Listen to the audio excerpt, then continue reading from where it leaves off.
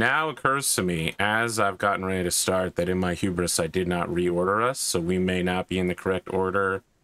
And I've managed to perfectly get all of us out of order. So let's do a little boot, scoot, and shuffle real quick. And with that, two movements perfectly in order. Incredible. Welcome to Stars Without Numbers Revised Shipbreakers. This is the crew of the LAS Golden Goose. I am joined by our heroes. I I don't know that I've always called you heroes, but you are discussing highly moralistic topics lately. And for those of you that skipped episode negative two, you missed Minerva grappling with really basic 101 level philosophy questions that I just popped out of nowhere.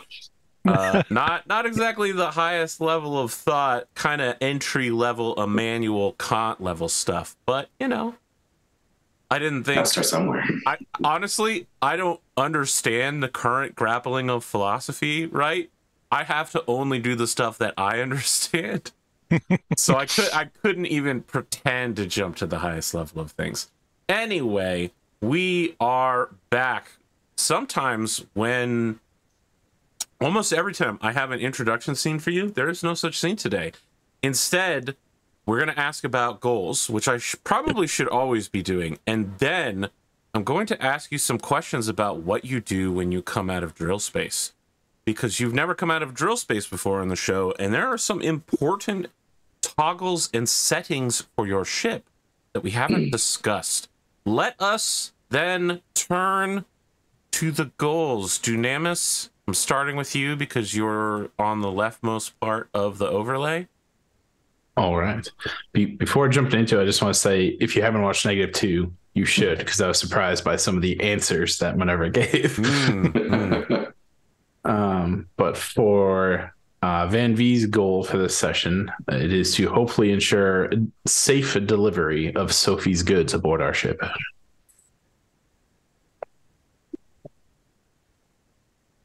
He's he's intending to try to keep his good Okay. faith towards his family. Gotta help your uh, stepmother, Sophie. Sophie. Yeah, of course, of course. You have to refer to her. I don't don't use the title with her adult first name, of course, of course, of course. You are still on Find Your Mother difficulty 18. Yes. We're gonna jump over to Quentin next. Quentin, based on some of the events that have happened, specifically several events that happened in the last episode, Mm. I am changing Find High Tech Psionic Academy from six to ten. Ooh, okay. Things got harder. Uh, Choices Well- were made. yeah.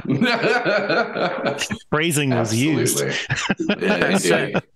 You can always change that if you want to, and uh, I don't have a short term goal for you, so Okay. Well, short-term goal is to try to repair uh, some some damage that was done, and uh, see if he can reassure Iona uh, about the current situation she's in, and you know, their their working relationship.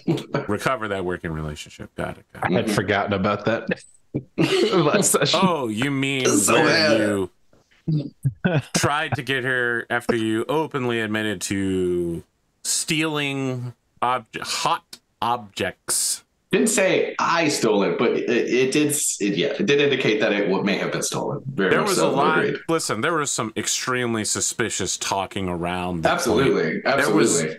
There was no like, look, this accidentally Poorly fell into our out hands. board. It's you know, we think it might be stolen. Do you know what it's done? No, it was Mhm. like we've got a hot item. Absolutely. And It was very poorly done. Kain, I mean, I I enjoyed it. uh, I, I have no goals for you right now. What do you What do you got for me? So for the short term goal that I have listed right now is to talk to both crewmates about their families. That is super interesting.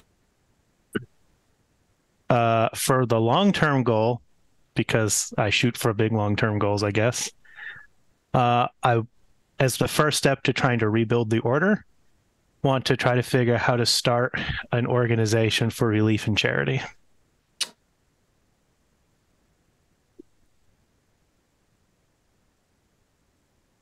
I am going to set this goal at a three.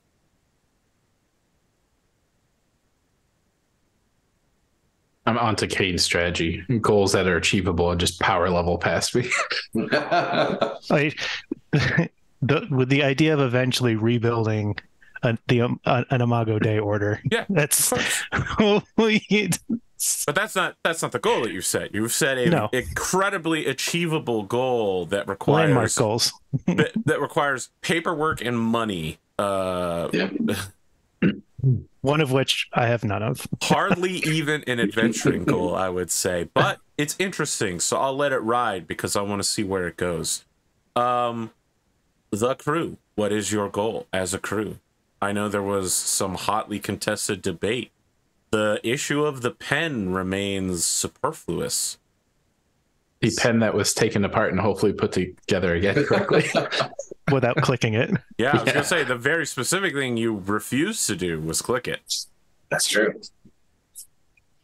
I really wanted to, I'll be honest. I, Listen, all you have to say, you just could joke and say, thoughts Van for B, click it. And he'd be like, okay. But I think uh, I had proposed our goal of Quentin defined what the device is, but understanding more of the why, like why does it exist and how would it be used, especially by Jace. So, Oh, yeah. on the question of the pen. So for the meta psionics and the mind tracing, with what I saw, like, do I know the power or like what effect it would be Yeah. at least related to? You would need to make a sci-tech roll of some kind in order to Okay, determine that. A skill I don't think you have. That's because it's a it it is a skill beyond what is on the current skill list. You would need to find a specialist or essentially redevelop the ability to make psionic technology, which has been lost. Yeah, the next long term goal someday. Uh, but what is the crew goal here? I Wow. think Three guys I- just kind of looking at their screen, Yeah, I think. I, I I was thinking something along the lines of seeing what else we can learn about the pen Mhm. and determine what we think is the likely use that this guy's going to make so that we can make our moral decision on whether or not we're going to screw ourselves financially and deliver this thing to this guy. Yeah, I think Quentin's Quentin's definitely thinking mostly around like how deep of shit might they be in if people like connect them to this thing. So basically, like, is it a weapon? Is it you know something deeply dangerous? And or what does Jace know uh, about it or its relation to Johnson? Basically, like those three things. Answers to any of those questions are, are of interest uh, in my book Can I throw down, find out more about this job in Yeah. general? Because you have so many specifics. yeah. We, we need a I simple like that goal. generalization. That's Find out beautiful. more Simplified. about the job. Answer all the questions we didn't ask. Learn.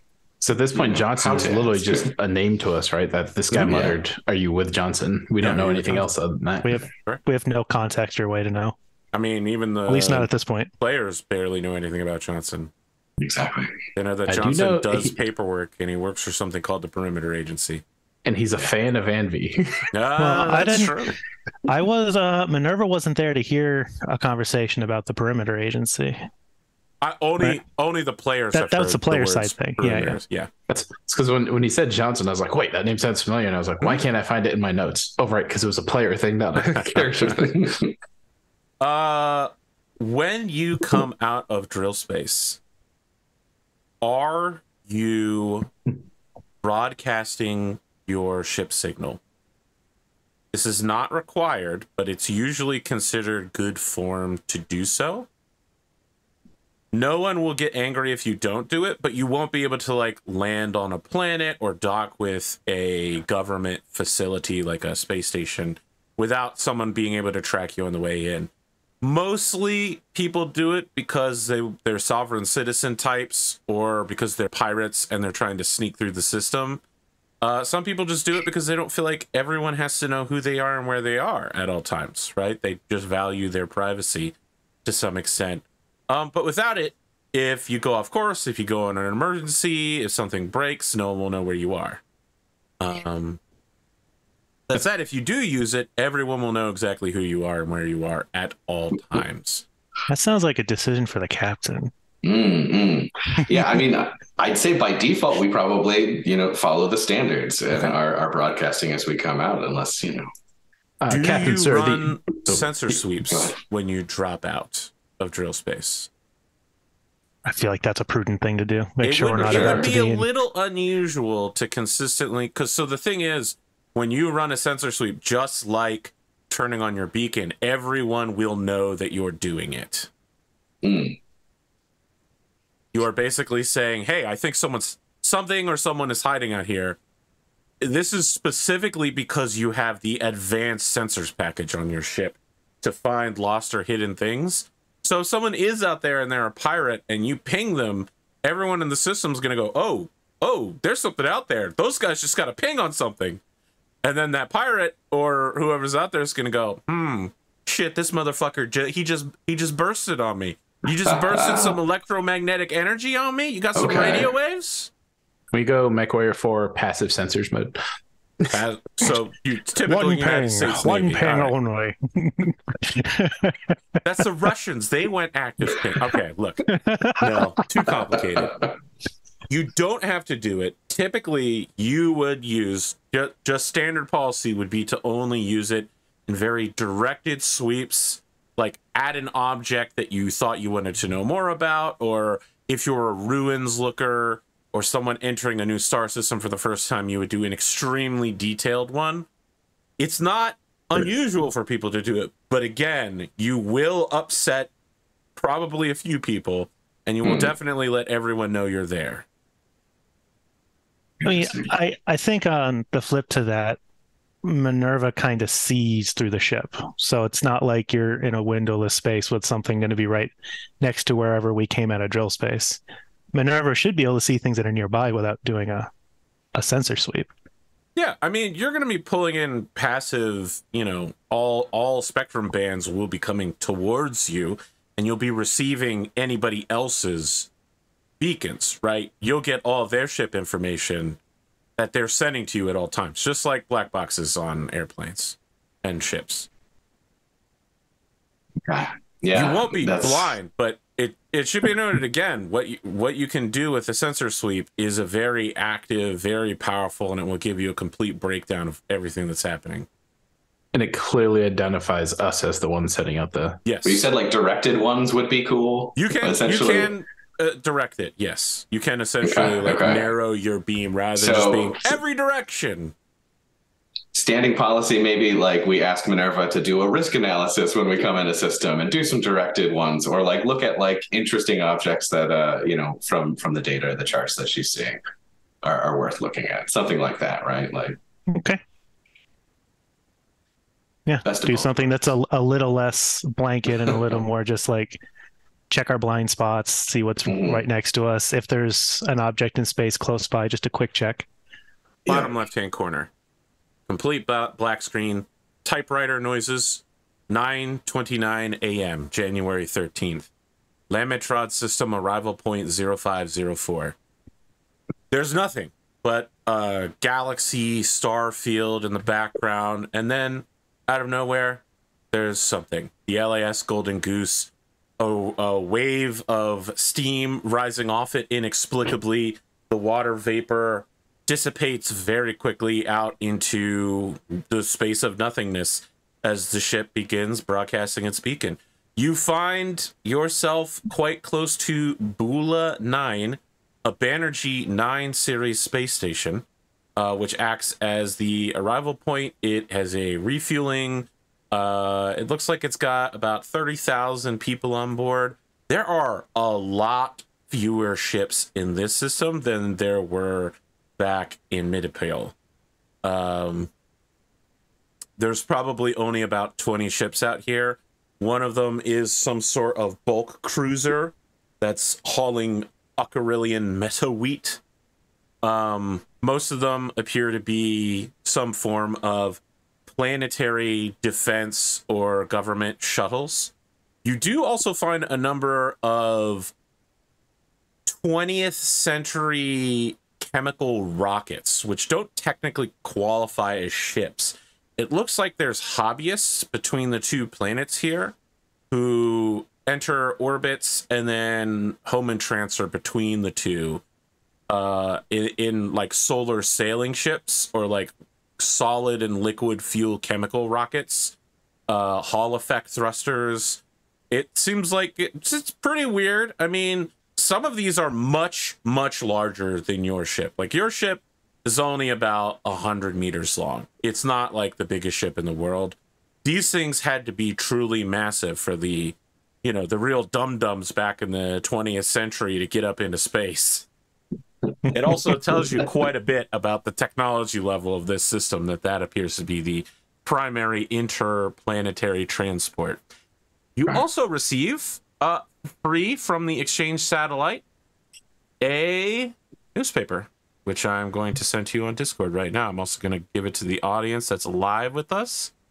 And i'm going to put it in uh our open discord channel SWN Shipbreakers and pin it. So if you need to find it, it starts with that number is newspaper two.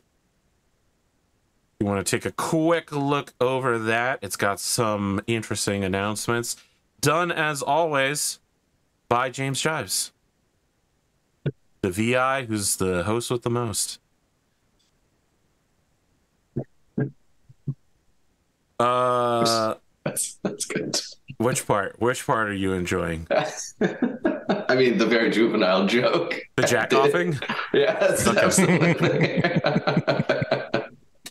it got me. Out of control as officials are helpless. so good. I wish I could take credit for that, but that was Jesse Cox that wrote that joke. So It's, it's funny either way. Yeah, the nefarious acts of the Jack Crackers uh, seem to be present. okay. It lends a somewhat sinister edge to those slow chemical rockets orbiting around the planets. Any one of them could be a Jack Cracker trying to jack off you. Gotcha. We just lost the alert. entire female Uh. audience. Oh shit. But the rest of the audience is chuckling. Uh, yeah. What do you guys want to do when you arrive here? Uh, question, Van V. Do you prefer to? Do you like to be in the cockpit when we come out of drill? Mm. Yeah, I think I think uh I mean I'm trying to think how long have we piloted together now? Probably like a month or so, if, if Yeah. I have that time all right. So I I feel like we have a routine, but whether or not there's a complete comfort level with Van V of having it all be like automated without a physical like if your armature's not there, he's probably less trusting. and so trusting is probably not the right word, but he just likes to overview and make sure everything is the way it should be. Like no surprises. So you're in the cockpit. Quentin will uh, Oh yeah. teleport into the cockpit like right before, essentially, like cup of coffee. Scare the crap out of Van V. Just-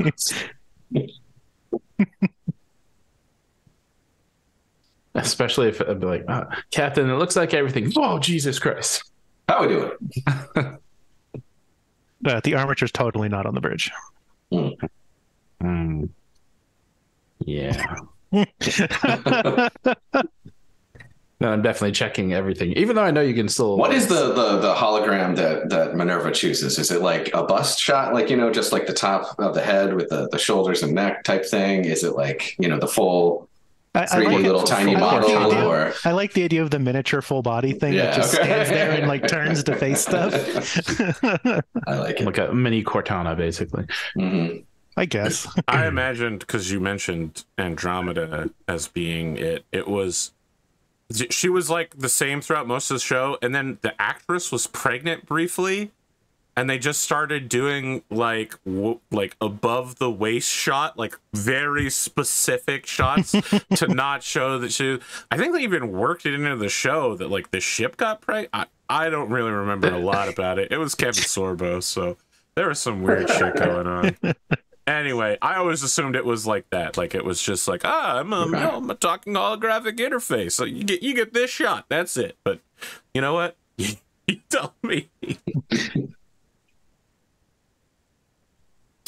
what do you? How- Yeah, so And I think in order to accommodate Van V's apparent uh, phobia of interacting without the armature, I think uh, the hologram won't appear in the room with Van V unless interacting directly with the captain. Otherwise, probably just coming in as voice over the like over speakers. That probably would be better because then you can imagine it's like just someone talking into an intercom.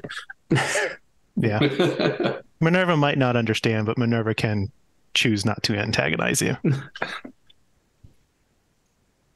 Yeah, but I think yeah, Van V's in the cockpit checking checking all the panels and stuff. And I guess the first the first two things he'd be trying to figure out is uh a distance to Astapel, which is where Jace is. And I, I can't remember where Sophie's stuff supposed to be delivered because that wasn't I don't think Van V Uh, was there. it's it's to basically the space station in orbit, Bula Nine. Bula That's nine. quite close okay. to you. okay. Oh, Uh, just so another transit to. Bula Okay. Nine is inter-region, and transit to uh, Astapel is intersystem. So Bula nine probably makes more sense. Yeah, definitely going to drop off the goods, get that done before anything complicated happens. Uh, I think is is the move. and mid mid or traveling to Bula Nine and then Astapel gives us time to discuss in transit what the hell we want to do about the pen and Jace. yeah, there you go. So let's see here. I'm pulling up starships to see transit times. I imagine Van V is trying to. uh There's no way to do it sneakily because Minerva sees everything, but trying to figure out what is the uh combat armor rule on Bula Nine. Um, I could Yeah, probably look. look. that up for you. See, like What- you go to do a search and you're partway typed through and the results are already popping up. Things not to do on Bula Nine. Uh, Bula Nine is a open trade station. It is not associated with either of the planets. Uh, it is a privately held concern. It's one of those panopticon. If you if you fuck around, you'll find out. But you are freely allowed to use armor, weapons, drugs, uh, quietly slaves, that sort of thing, would all pass through a system like this. No surprise given that it's located right next door to the full on piracy system of Mhm. the wormhole. Or, sorry, Mhm. the black hole. Juan. The, the Let's notes would say something like, uh, "Most things are legal. There will be there is very limited law enforcement support." Oh, no. Most- I should be very clear. Law enforcement on the station is extremely diligent. Uh, it is. It should be noted, however, that capital punishment is freely practiced. hmm So now it's Free reign, just don't cross the line. Again, it is FAFO. Fuck around and find out for sure. So most things, you know, are okay legal. Just don't get caught. And this time, I mean it, Van V. Don't get caught. That's what shows up on the screen. Uh, it'll take you six hours to get to the space station, which will put you into the afternoon, and then it's 48 hours to go to uh, the planet Astapel. Double So, check. Like, go ahead. no, you go ahead. You go ahead. I was just gonna say we to it, it's been essentially nine days total that has occurred. If I'm if my count's correct. Uh, are you checking your person days of, of oxygen spent? Uh, well, c- counting supply usage for sure. Yeah, and just 26 to keep person track. days per arrival in this system is my count. Okay. Yeah, I've got the supply use tracked. Just was trying to go by like My actual notes say two, three person, two days, four person, two days, and then the jump transit is four person for three days, which should be 26 person days Yep. out of 180 total. Uh, would you like to refuel there? Because that will take more time. But that's Um, very, extremely reasonable to keep topped up. Uh, Yeah, you also I- are down it's worth the spike fuel, time. which will take its own Yeah. separate refueling. Uh, Um, you have, I believe, you have a bunker that will allow you to jump twice without refueling. But the whole point of Correct. having the second point is that if you jump badly, you can get back. Yeah, Okay. Captain, I would I would advise we uh we don't know what we're getting into on Astapel. Might be wise to just top ourselves off on Bula Nine, you know? Absolutely agreed. Let's get it done. We wipe. You are uh, approaching Bula 9. Bula 9 control doesn't even send an audio message. Uh, it seems like they're out, their like data out cap has been hit, and they're only sending text form messages with only the most base level of encryption, uh, indicating that uh, station power is down in your docking bay, and that you will need your pilot will need to manually attach to the docking arm.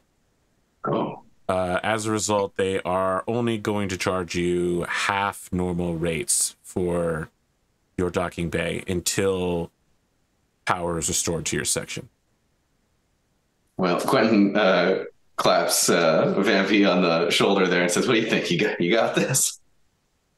I, I think between Minerva and I, we can we can tackle this pretty easily. I mean, she's got eyes everywhere. All right. Is This there a role that I could make to uh like provide um to help provide data to help him I don't think line it even up? needs to be a role. I'll just let him take a plus one on a piloting check. You need to hit a six. I can easily see this going into like a uh, Van V. You're going too fast. Slow down. I will break for you. You know, you, you know, like when you get the back of Karen fancy cars and they put the dashed lines on the ground in the camera mean- view. My Honda CRV will consistently be like, break, break. And I'm like, why am I braking? There's nothing in front of me. And it'll actually Uh, run the brake on me. Uh, very Wait, annoying. Strength happening? in piloting. Ah, crap. I always forget I mean- to change that thing. I mean, you I mean, you easily beat a six without the strength. Um, it this only would is- have added This is no one. sweat. I mean, this is literally the most basic check that you could do. Docking in space at ultra slow speed.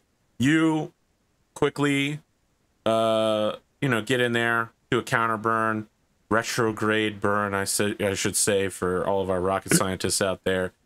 Nudge with some thrusters close to the docking arm. Get yourself locked in, and then uh, from there, someone has to go inside and use like garage door chains in order to pull the docking arm my in lord. and get the ship hoisted into position so it can attach the hoses. Um, the docking bay closes. You've been pretty pampered so far with like private docking bays.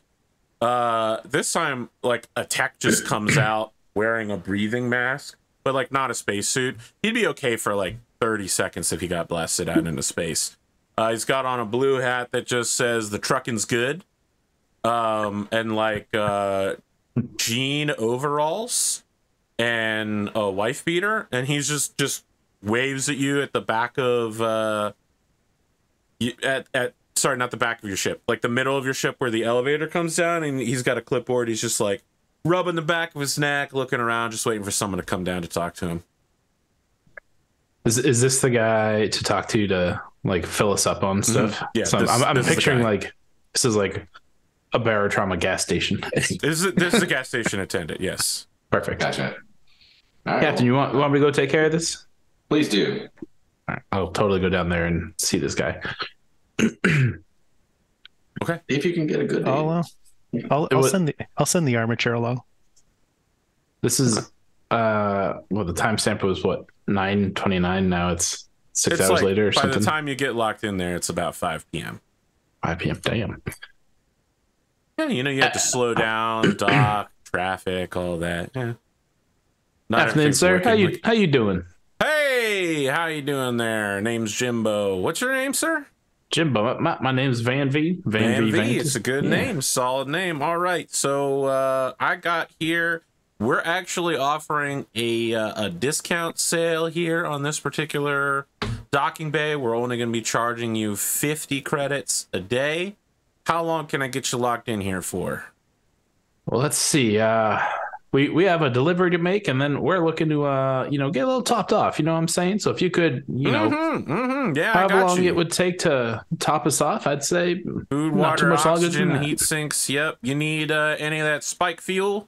yes, sir. You you know it. All right, that's uh 500 a pop. How much uh, you know, how much of the other goods do you need to get going? I would I would imagine I got a list from the captain. yeah, we need uh let's see. Five total total units of supply. That's that's like five times uh six people essentially worth. If you're doing that. Uh, yeah, I just don't remember how much a person day is. You need 26 person days worth. I think that the the starship generator, I don't know if anyone has it open, but that page should tell how much each costs. Let me go to the, The Discord bookmarks. because that's where the pin is. Yeah. I do have the. I've got the PDF open. I just was on the wrong page. Yeah, I just don't know where that particular. Uh, it's Oh, sorry, it's types. freebooter where the stats are at. Um, I, I do have it open. I, I just can't say I've spent a ton of time with it. yeah. fuel load is 500 a day. Mhm. Yeah, so we need one load of fuel to top up and then supplies I don't see how Where much the hell supplies cost a day. There definitely is 100% a cost. I just can't find it. so Jimbo, you're, what you're telling me is it's on the house today, right? No, just because the GM is bad at figuring out where this is. doesn't Maintenance mean and that Jimbo is repair. bad. Here it goes. It's 20 a day, which sounds that sounds right to me. There we go. Um, it's on page 94 of the book. So you need 20 a day at 26 Six person days. days. for 520 plus 500 for the fuel plus 50 for uh, the docking bay is 1070. You want to tip Jimbo in the process? Yeah, I, I think I'd tip Jimbo, and I'm assuming because we already have a discount, these prices are not. Uh, just the docking bay is discounted. Everything else is pretty standardized. Hmm. Yeah, I imagine you can't negotiate on that stuff too much. It's so you know, it's like a really basic staple item. Inflation it's is standard, based yeah. off of the cost of those things, sort of deal. Gotcha. Well, then, yeah, let's tip. Tip. uh, What's a normal tip for this guy? Like, uh, uh, if I give him eleven hundred, we feel shortchanged. No, 30, 30 credits would be a pretty good tip. He, he probably gets paid Alright. about hundred a day, Oh, wow. uh, so okay. thirty would be a huge tip for him. Yeah. But whole, on the other hand, for starship captains, thirty is like nothing, right? In order to run a ship, it costs thousands and thousands. So, yeah, you tip him thirty. He says, "Thank you, sir. You know what? I'm gonna put you guys number one in my priority list here." Um, so Ooh, he like whistles, and two uh like very tiny droids roll out and then deploy themselves. They they turn they go from being balls like uh Metroid balls into huge centipede like creatures made up of like ridged uh accordion sections and it it they like each grab a tube one for uh like water and one for starship fuel and and attach it and then they both roll away and begin pushing huge crates of like oxygen canisters and food onto your elevator. Uh yeah, he just kind of stands there and shoots the shit with Van-Vee for a minute if you're willing to talk about blast ball. oh my god, yeah. Yeah, while the two of them are talking, anybody else got anything going on?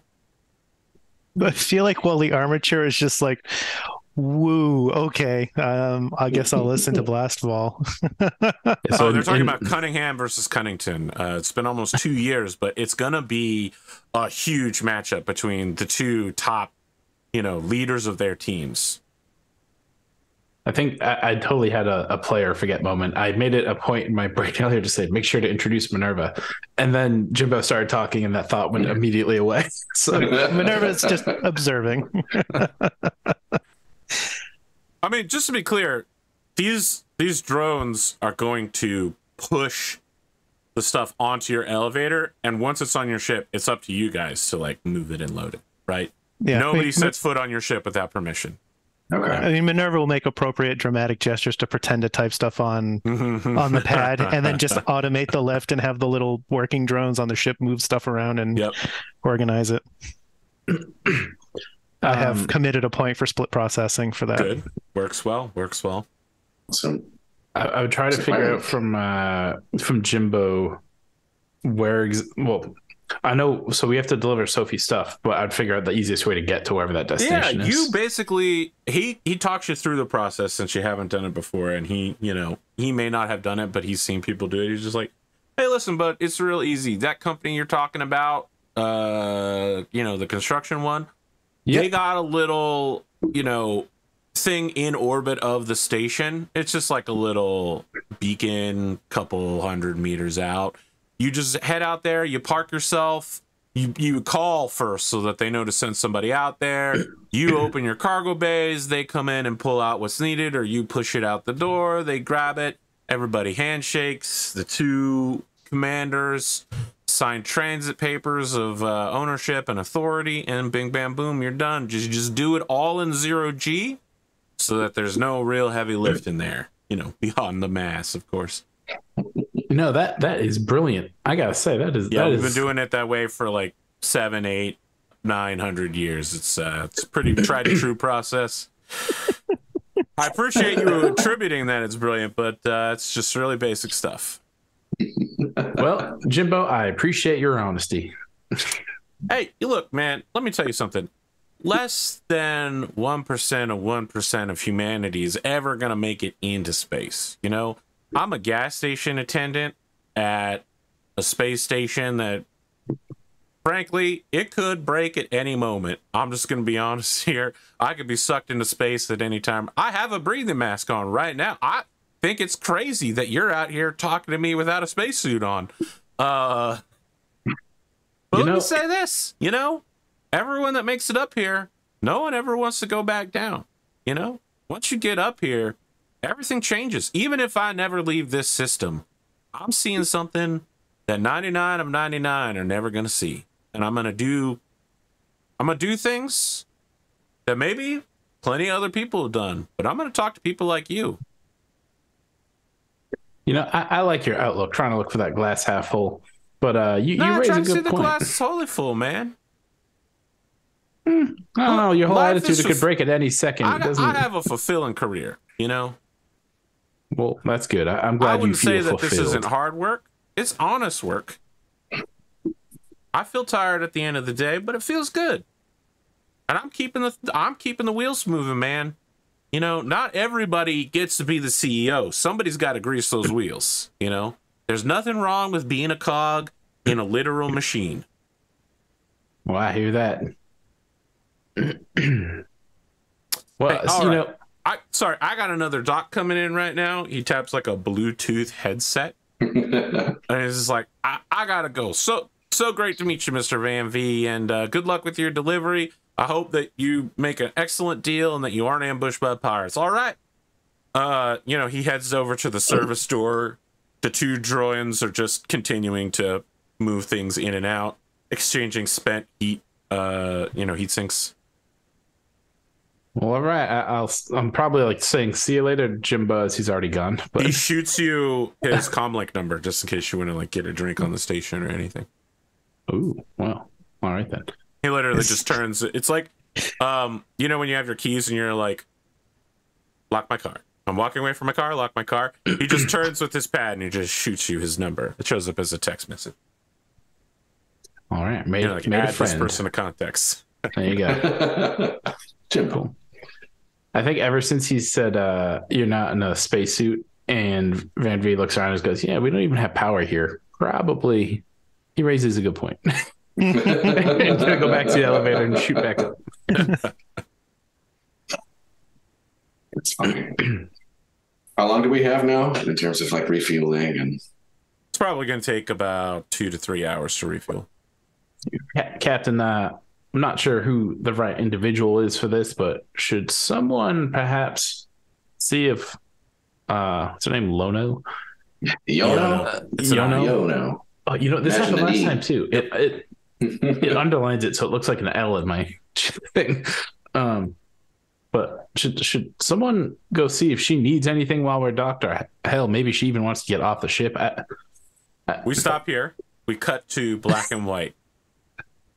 It is first one screen, then it split screens, then it quad screens. It's the exact same scene every day. Iono Kanto wakes up promptly at 5:50 a.m. He has a shower, she gets out, she looks at the mirror, she says the same phrase about putting your scrunchie on when things get hard because that's what the royal princess does. She puts on the very similar clothing.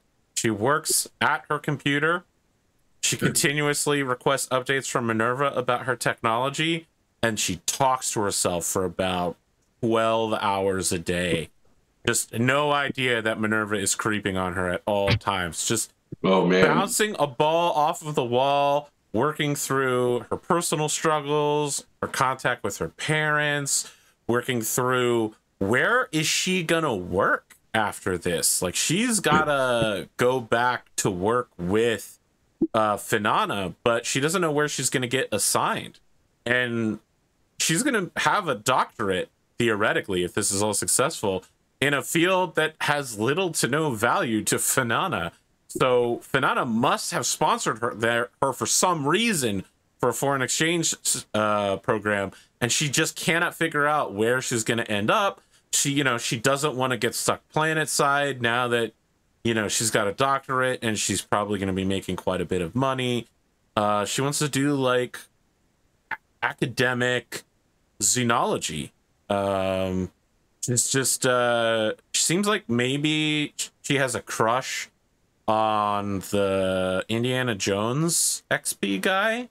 She she keeps checking her communicator when she gets in system to see if he's also in system. Uh she's looking up information continuously about someone named Dr. Tiberius Kron and seeing if there's any historical so she was basically going through the ship's records of Tiberius Kron because you guys have been places other than um Midipile. And now that she's arrived, she's looking for Tiberius Kron in the local system as well.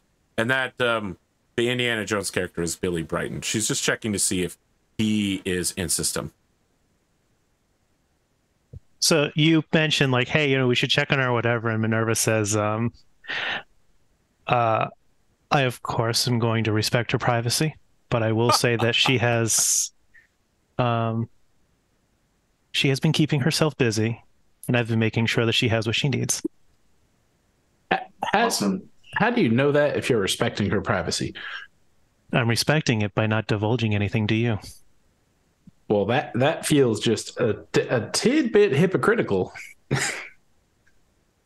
Wait, um, don't think too hard on it, man. B. M- Minerva means well. uh, you know, I have been meaning to to at least try to touch base myself. It's been a while. it's been a few days. Things have maybe calmed down. Very least, try to reassure that uh, you know we're we're not. I don't know whatever she thinks we are. Do you know what she thinks we are? Anything that I have observed is her privacy.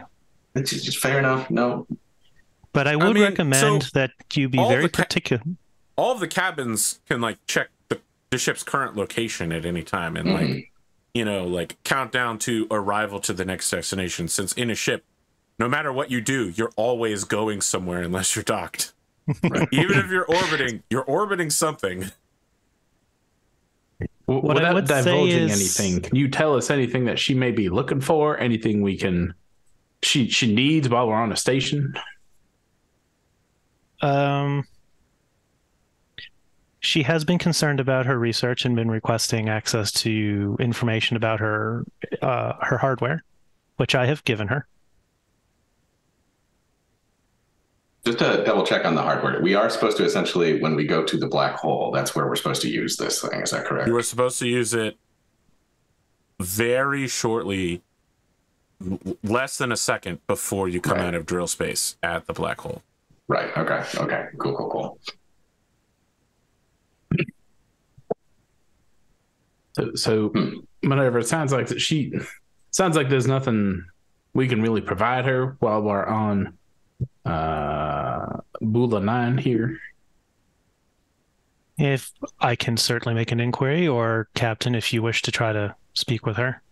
Yeah, I let me would- see if she's willing to give five minutes. You know, if nothing else, we'll give her the itinerary, what we're doing. We'll give her a few options of where we can drop her off after we get this done, what what we're gonna be doing. I don't know. We'll we'll see where she's at. I would recommend being direct. Yeah. You know, I'm not very good at what's what's the indirect apparently. Yes, I would recommend being direct and deliberate. just say yes. I would recommend being uh, direct and and be very purposeful in the words you choose. okay. Yeah. Well, here's up. Cross your fingers. I'll do my best. You got this, Cap, and I slap you on the back. Louis, Louis, Louis shows up. I'm gonna need you for this one, buddy.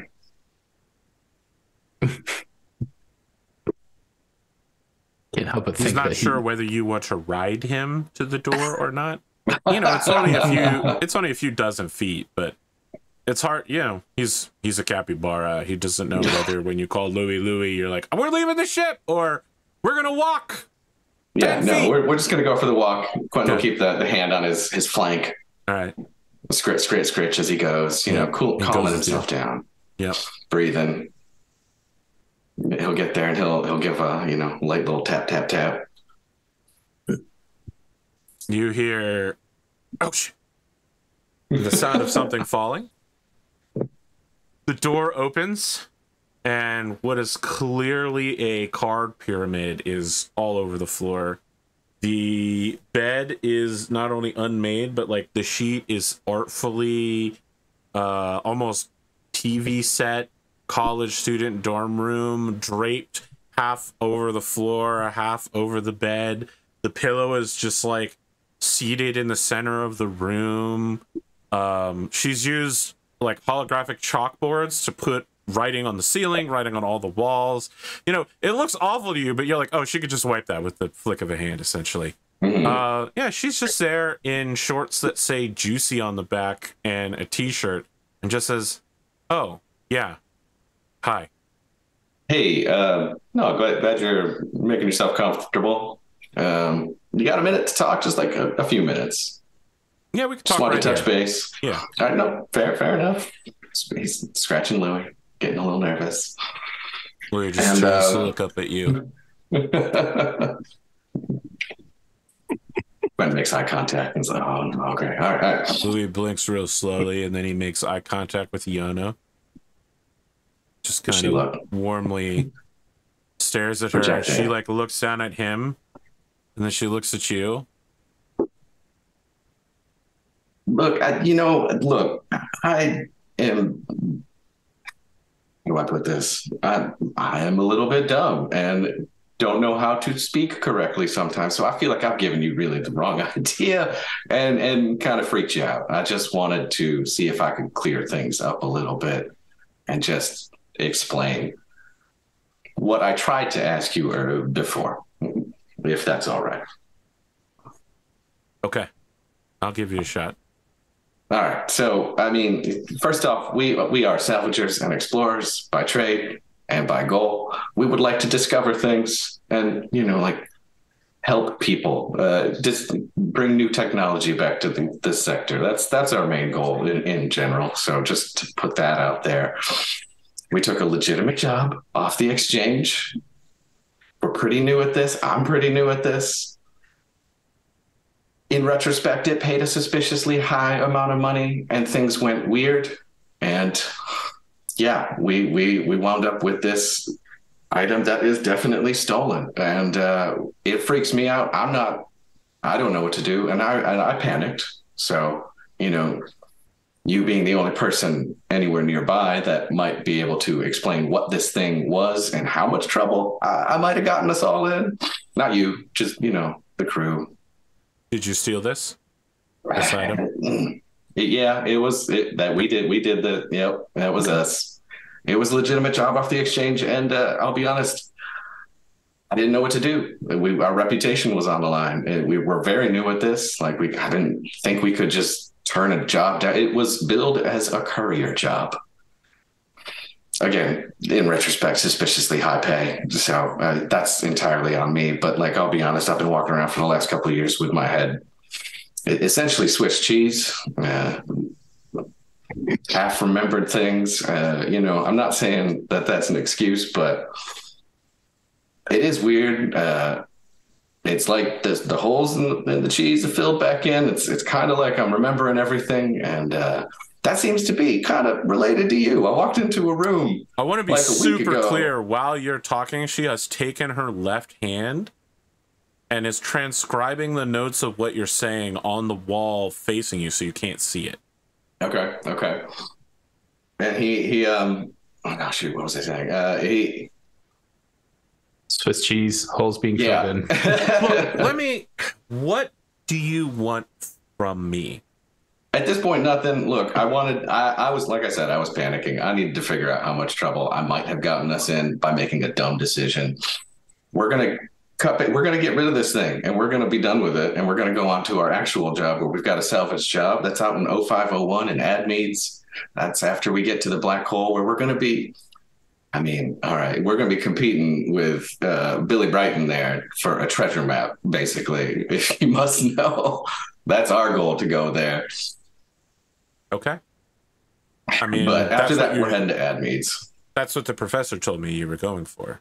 Yeah, exactly. Yeah. So, I mean, you know, that's our itinerary. After that, whatever we can do, you know, to help you, we're going to help you out with your research. We hope that it helps us out because there's going to be some fantastic data, hopefully, that comes out of it. But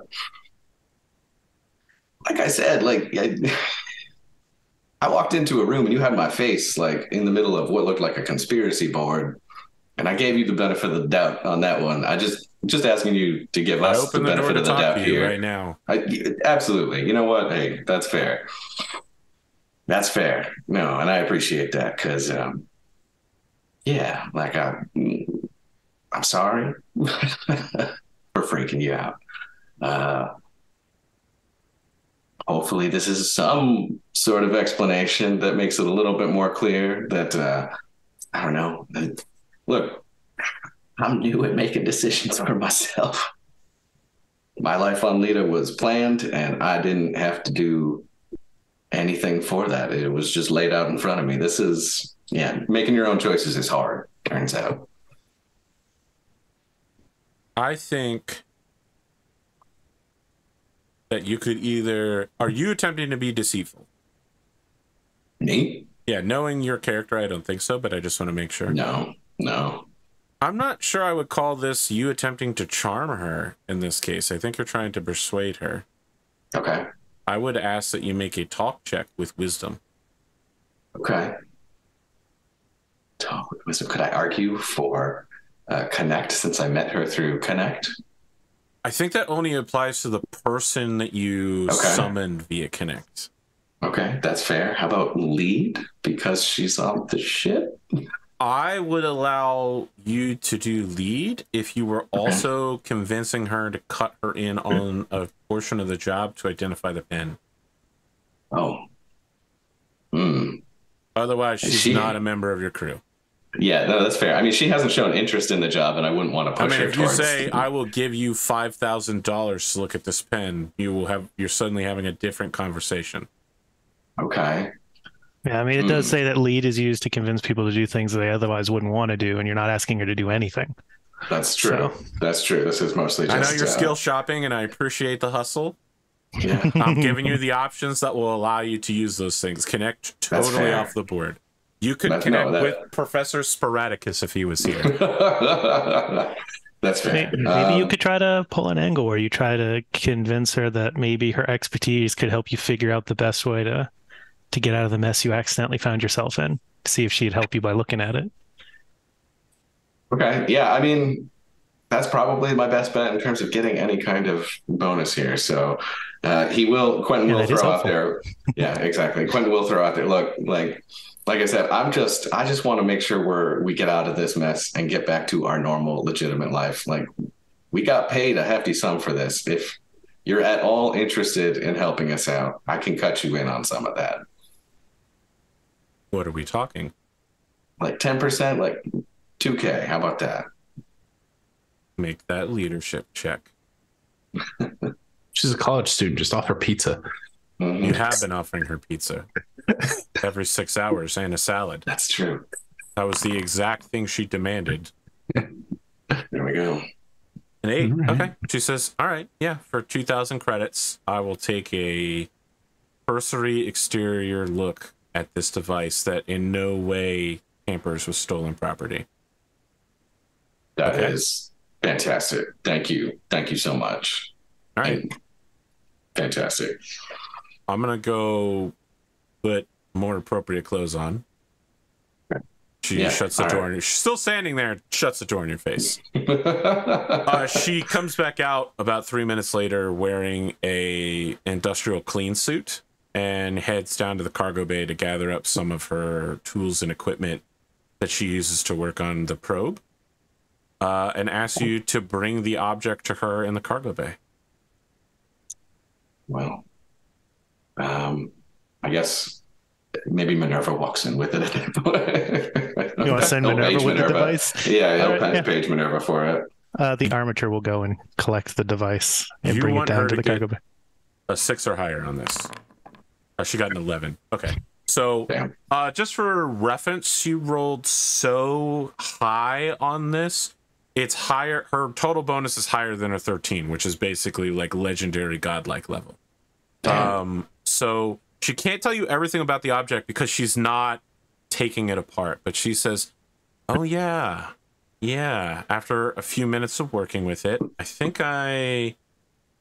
So look, there were always these rumors about the Terran mandate that they, you know, they have this very weird technology that doesn't make sense to humans, right? They, I don't know whether it was designed by insane psychics. Some people said it was designed by like AI, um, but like super weird stuff, essentially.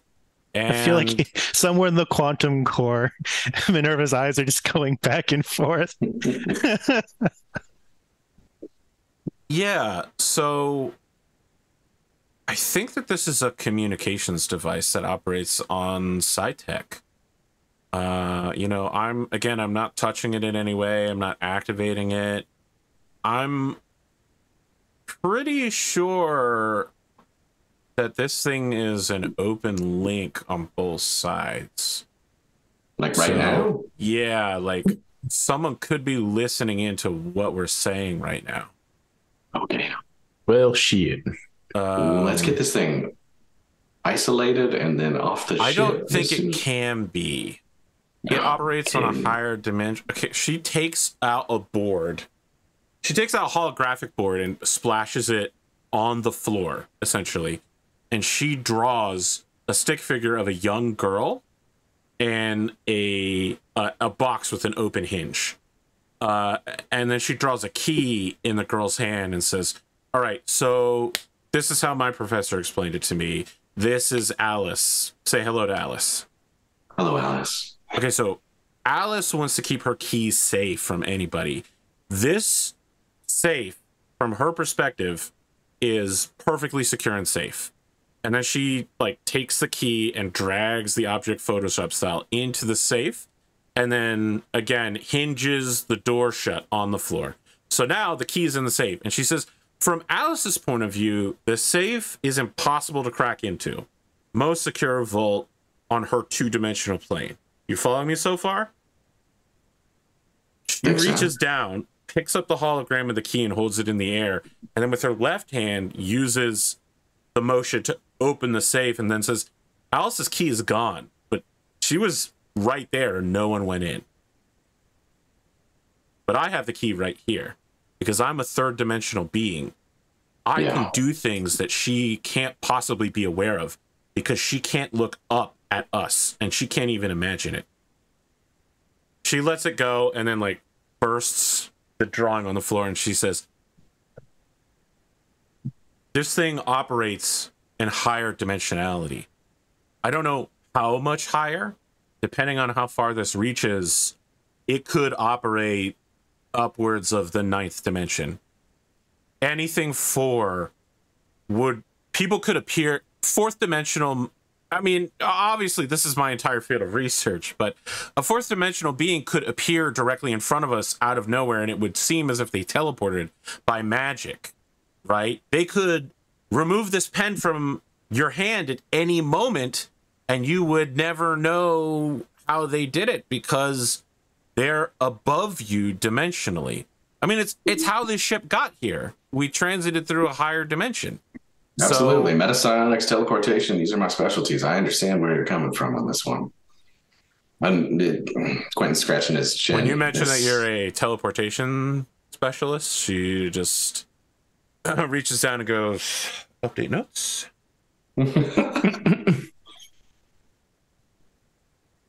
so I can't tell you what this leads to. I think it's a fixed point in space, a very similar object somewhere else in the galaxy. Link.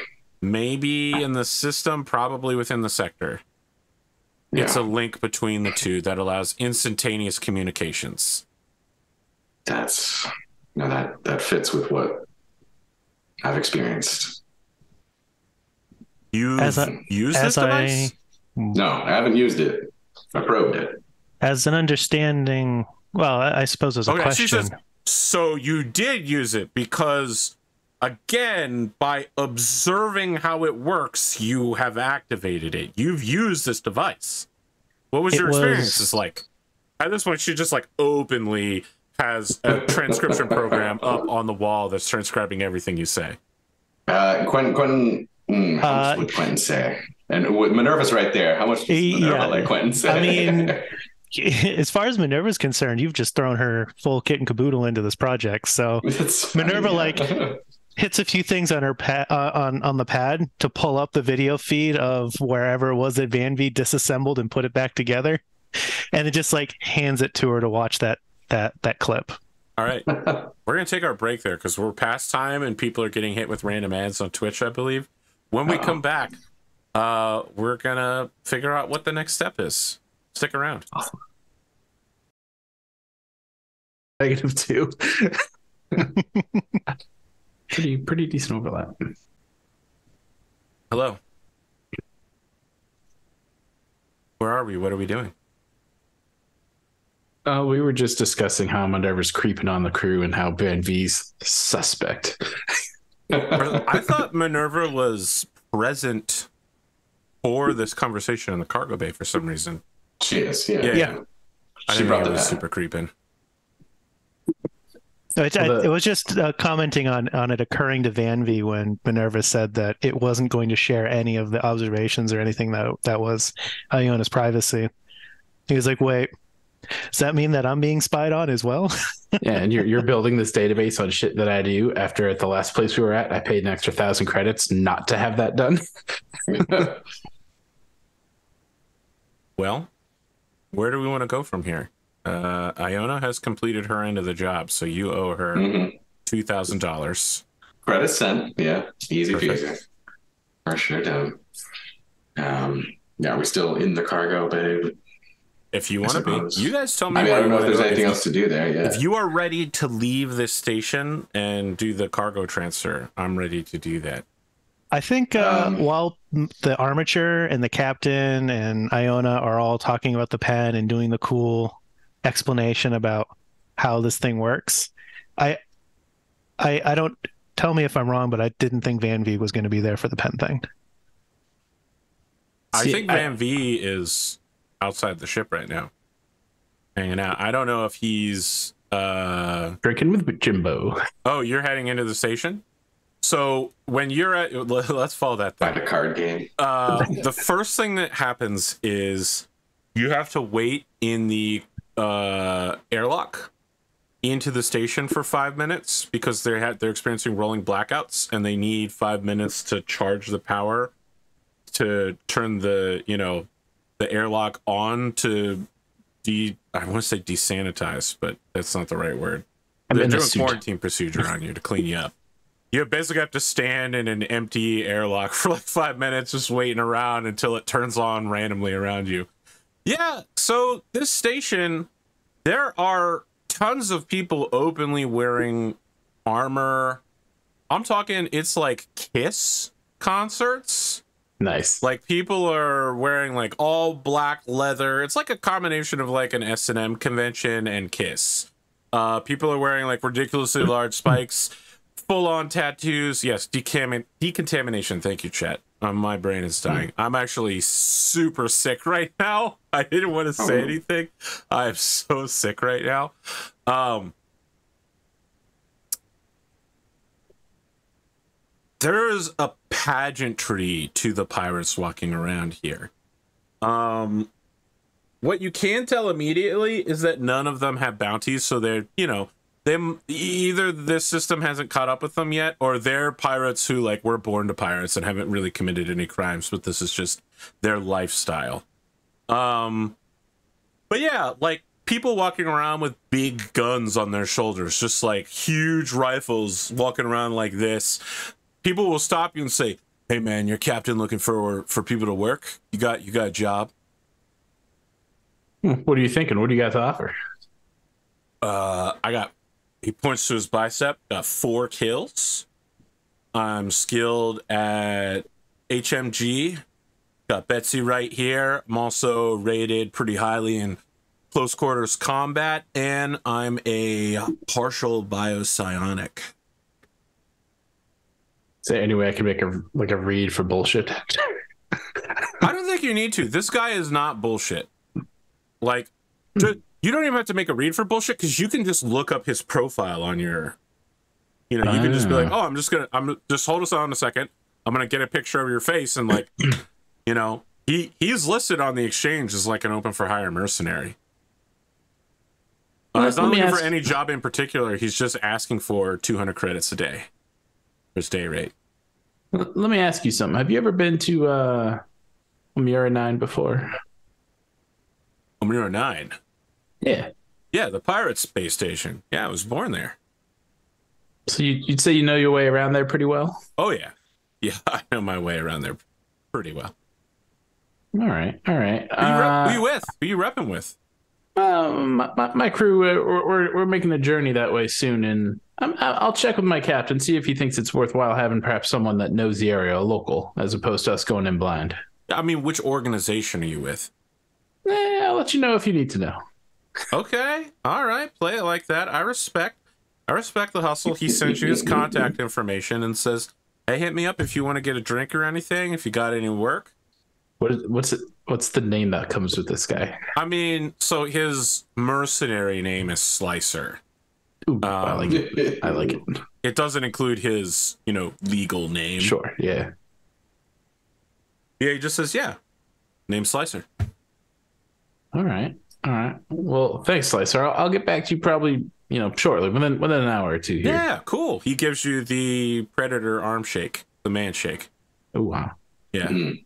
He is fucking Fan- jacked, dude.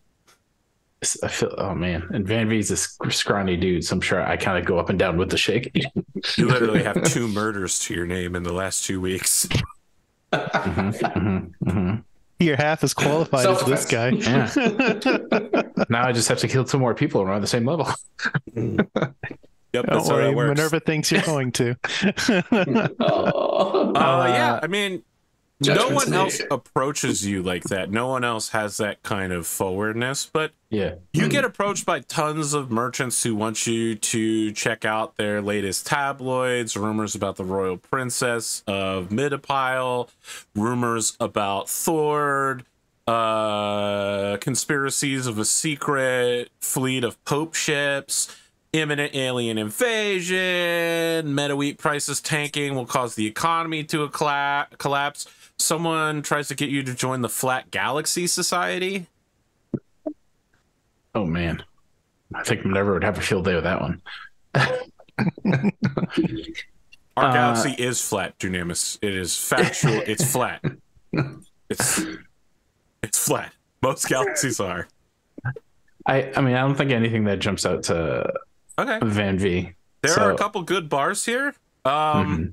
as you're walking past one, you get like that slow mo as you are aware that violence is about to break out. You're like something something catches your eye as you walk past the bar, and you see someone pull a short barrel, double barrel shotgun Hmm. out from underneath a coat and then cock back both hammers and puts it to the back of someone's head and says, John Lawrence, you're bound by law. You're coming back with me. My my spidey sense tells me it's time to leave. I cannot afford to kill a third person. This is a this, just be clear, this is a bar that has like a room full of people playing poker, uh just getting off of work sort of deal. Like it's like a family bar. And this dude wearing a trench coat, a 10 gallon hat, uh spurs on his boots, and a double barrel shotgun pulls on a dude in the bar and like everything stops. And you are walking past the bar and you're like, I'm I'm leaving. Okay. You you make yourself gone. Uh, probably a good idea given your history with law enforcement. I mean, I, re- I really wanted to be like, well, I was already pl- playing cards there. And as soon as the gun comes out, I just fold my hand, grab my money, and leave. Oh, I love that. I love that so much more. You hear it. You hear him explaining like Lawrence is just like, "Who are you with?" And as you walk out the door, this dude's like, "You got a girl pregnant on Lena, my friend. You're coming home with me." Mm. Man. Well, as soon as I hear Lita, uh, uh, what was the name? Because I want to write it down and check with the captain if he knows the guy. John Lawrence. yeah, you know the Cockneysville Lawrences. It's a small planet. He knows everybody. It really is. Just just two million people. No big deal. He's uh he's one of those weird power people, doesn't he know everybody's minds on Lita? Weird power people. Uh, yeah. I mean, you head to another bar, you get some drinks. People here are pretty friendly. You know, it's it's that there are no government connections here, right? There's it's private security. They make sure that everybody who's here stays happy as best possible, and that the people who are going to break what few few rules there are disappear quietly. Um, so everyone is happy to show off their knives, talk about how hard their day is, how rough their work is, coming back from the space asteroid mines, you know, talk about how big of a killer they are, or how about how what a menace psychics are in the in your society. But you'd have to be a true lunatic to cause problems here on uh, on nine.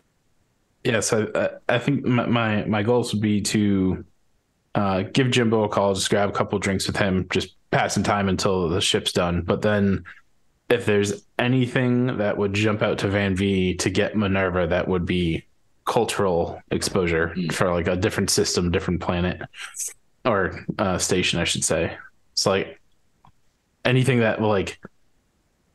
It's funny you said Kiss because I was thinking music based off the last conversation, but anything that would like pirate music that be like this Oh, is generally yeah. what these folks would listen to. Absolutely. Uh, it's almost all like late 90s Eurobeat, Nordic trash. Like that song from Moldova from the like European music competition with the saxophone that's like Like shit like that is all super popular Sax here. guy, whatever Yeah. the hell. his was. Oh my god, it's in Uh, just like the, j- again, we're all Americans here, born. So we're we're all millennials or millennial-ish. it's a very different type of music than what we are used to. That's the norm Mhm. here uh, in this system. Uh, I think probably the biggest cultural touchstone is the they call themselves the Sky Skimmers, uh, the people who uh, like race chemical rockets and solar sails between planets. Uh, it's very popular trying to make better orbital transfers. Uh, I know that sounds boring, but it is essentially the most pure form of physics-based racing.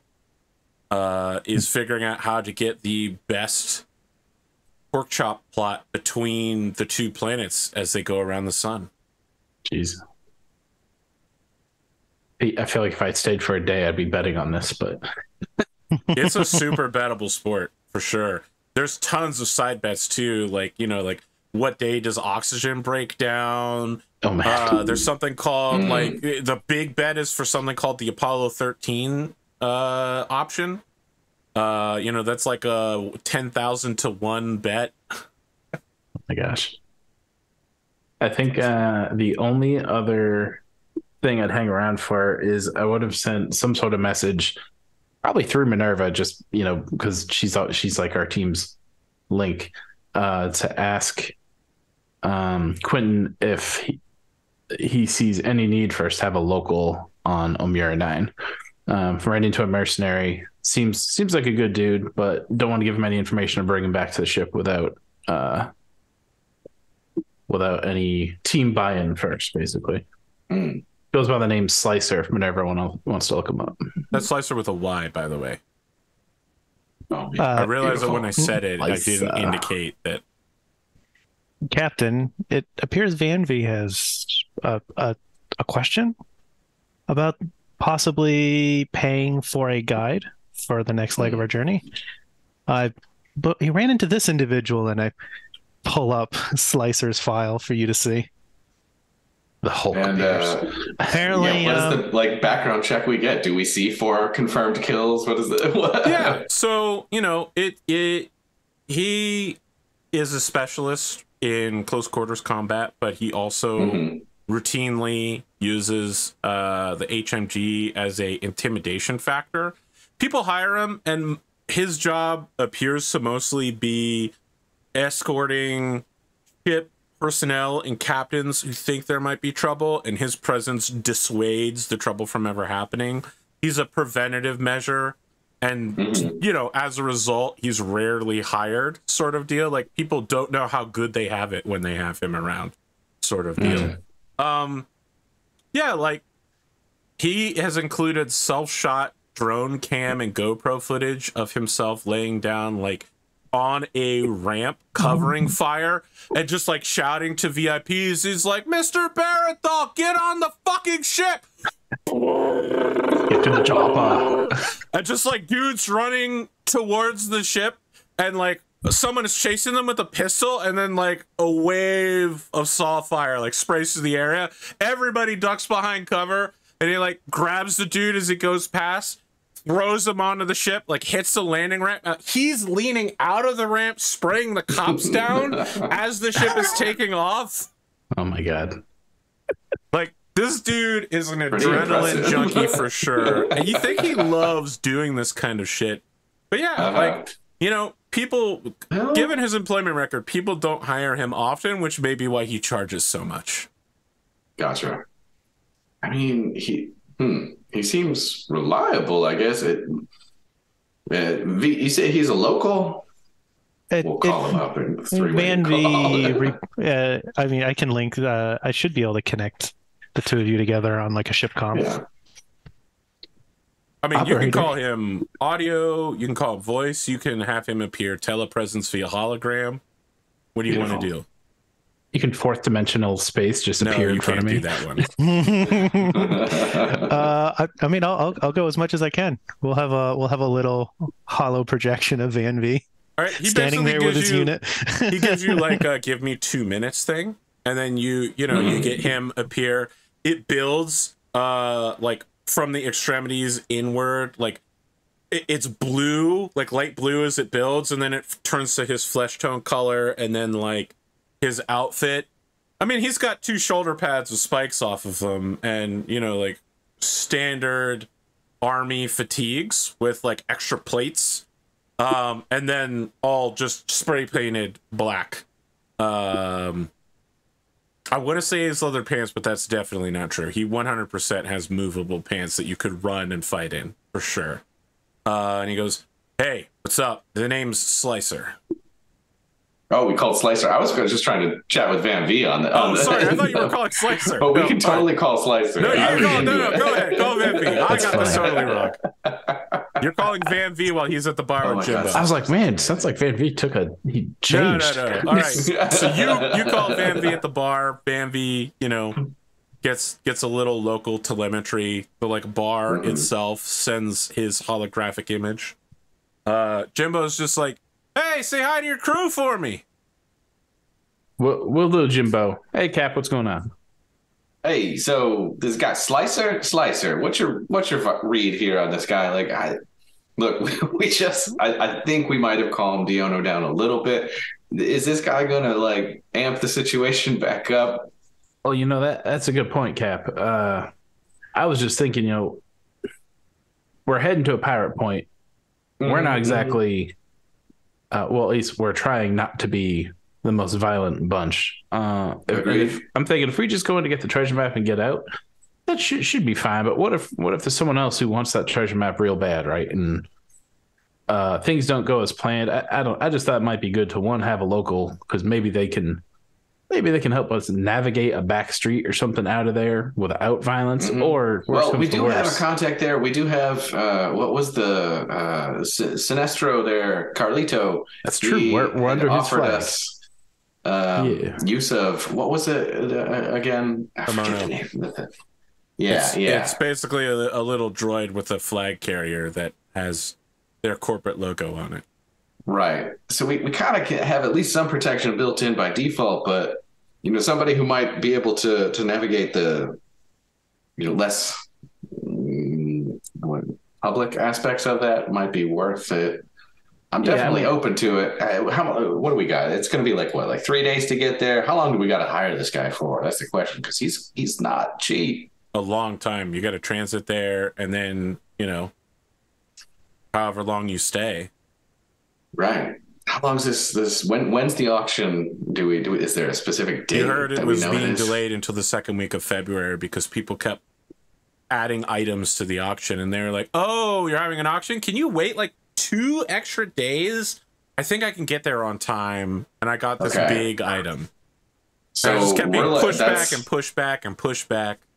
That's like three weeks of us on the station or something like that, right? Like once we get there. Or we skip that and go up to the salvage job first, I guess, and, and, and come back. Come back with more money. Yeah, that's that's probably okay. Um, you know what? Yeah, that that adds up pretty quickly. I think we might need to skip this guy, but if he's still available and we have the time, we could try to pop back here and grab him. I like the idea of having a local guide, somebody who can help out, but I don't know, he might be a little expensive right this second. I, I hear you, Cap. Uh, I, I can shoot him a message and just say, you know what, we got this other job we're going to go complete first, but uh, we'll be circling back and, you know, it'd be, it'd be nice to have someone with his knowledge and his expertise on a Mirror 9. And if he's up for it, uh, we, we, Have him we shoot, him, shoot us a message if he changes location, if he happens to head in that direction. You know? Yeah, I will, I will give him a nervous contact. Okay. He gets back to you guys within five minutes and he says, Hey, you know, I meet a lot of people. Very few of them ever get back to me. I really appreciate that. And I'm so glad about your interest. If I'm available, I will definitely book with your crew. Well, that is that is great to hear. Wait, is this like a text? Not allowed It's a call. text, yeah. Okay, never mind. Oh, one thing I just wanted to say, because I mentioned it earlier, but I, I didn't mention it as part of his file. He is a biopsionicist. So, like, as part of his bodyguard Oh. duties, sometimes he brings people who have been died in his, who've been killed in his That's- care back to life. yeah, that's kind of awesome. So he is a partial psionicist, which you know means he can only take one discipline ever. He was Right. basically born with medical biopsionic powers, and that's it. Sweet. Medical, huh? That's a good one. He might be useful. Okay. Slicer. Everybody's ready to head to the drop off for the construction job. Yeah. After that, I I'll think, book uh, it back to the ship. I think on the way, uh, Minerva is going to try to hit up the captain. Okay. Um, I don't, the captain hasn't exhibited any weirdness over the holograms and stuff, right? No, he's he's pretty comfortable in general. Like Okay. he Then didn't I can- grow up with technology, but he he finds it interesting and fascinating and enjoy it. Well, I guess uh, wh- wherever the captain is and whatever he's doing, we'll have like one of those holograms just sort of pop up in the room. I feel like Um, probably meditating at that point. Captain, am I interrupting something? No, no. What's up, Minerva? How you doing? I was wondering if you had a minute to talk. You got Um, something on your mind? I was a little curious and possibly a little bit concerned about Van-Vee. Okay. Yeah. Um, so? well, I, I understand I, had, I haven't known him long, but well, he has been involved in violence twice, and he's at least somewhat estranged with his family. And I, I can't. I, I'm wondering, do you think those might be related? Hmm. You know, I'm not a psychologist, but um, I, he's had a rocky road. You know, from what I understand of things, and when we met, you know, he he had, he was coming off a personal tragedy on top of you know everything else. Um, yeah, man, like it's it's it's that's hard to say, but it probably it's all related, Minerva. That's really what it boils down to. Oh, It all Wow. comes together. I mean, as far as I've seen, you don't have the same sort of violent tendencies that he does. Are you closer to your family than he is? Yeah, I mean, my family and I were very close. I, I don't know if we're we're closer. It, it seems like Van-Vee's very you know, cares quite a bit about his family. It's just you've heard about how much. So I guess out of character, how much has Van-Vee shared entirely with about his mother with with us? Um, I, I probably my, my real mother, not a lot. Mhm. Like what you the, you you know the, that the main conflict with the family and you, or you know that the mother. I was brought to Midapile as a kid with my dad, and then he remarried, and that's like the other family. That part's yeah, that's all known. hmm Before that, there's not a lot. Van-Vee knows himself, and he wouldn't Right. want to. He wouldn't want to open those doors. hmm Okay. Okay. Yeah, I mean, family's complicated, especially when you don't know the whole story. You know, I think that might be part of it for Van-Vee, but you know, I love my family. They're fantastic. But yeah, a lot to live up to. That's what they are. That's what my family is. I don't think cast I, a big shadow. I don't think I've had the opportunity to, to get to know anything about your family. I mean, we stopped Uh, by know- home, but uh, Yeah, no, that's fair. That's fair. I, I wouldn't say I ran from Lita. I just Lita was comfortable. It was easy, and uh, yeah, my family made it that way. Like you know, they're big fish, little pond. As far as that goes, they're fantastic. But uh, yeah, they had a they had a path uh, laid out for me. I can- basically every decision made. So that's that's why I'm out here at the end of the day. But they, yeah, I mean, I Lita. think Huh. I can relate to that. Is that part of why you chose to leave? Yeah. Oh, absolutely, absolutely. Every step of my life was planned and you know scheduled. There was there wasn't a choice I had to make. It was just live up to the expectation, and you know, uh, I might not have been doing it. I don't know. All I know is it was the pressure was wasn't wasn't worth it. I don't know. It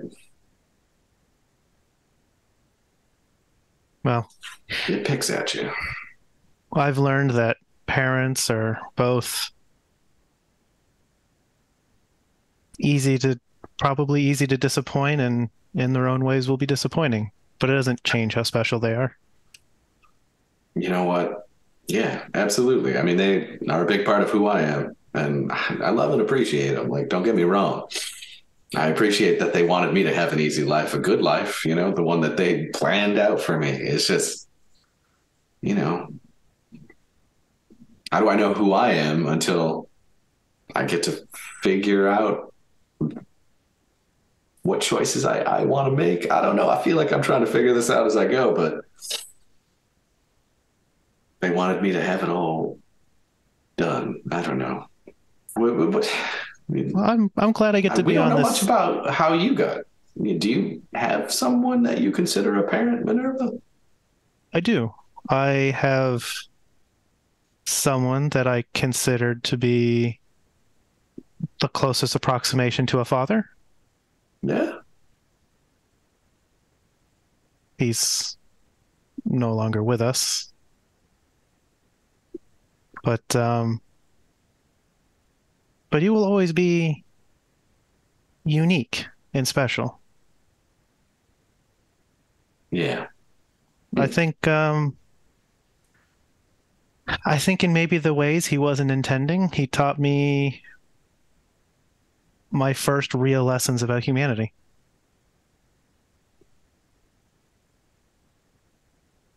Hmm. I'd really like to get to meet your family like we learn. got to meet Van-Vee's, but I feel that would probably be complicated if I have not yet revealed know, myself. It's been a while since I've been back, and I have been avoiding it mostly because I kind of feel like they're going to try to convince me to stay. But I think I've got enough momentum out here, enough to show that we might mosey on over there at some point. Yeah, and I'd love for you to get to meet him. I think they'd they'd, they'd find you very interesting. But I, I'll be honest, you know, there's plenty of folk on Lita who might be able to tease out your true nature. Uh, Hmm, Perhaps the trip will have to wait. Or at least if we take the trip for you, I might not yet get to have the opportunity. That's fair. You know, my my sister, she's Zoe. She's out here, out here somewhere, roaming the sector. Maybe there's it's you know it's a it's a big sector, lots of places, but there's a chance we might run into her out here somewhere. A chance encounter might be pleasant. Yeah, yeah, absolutely. I haven't seen Zoe in so long. I haven't seen any of them. I mean,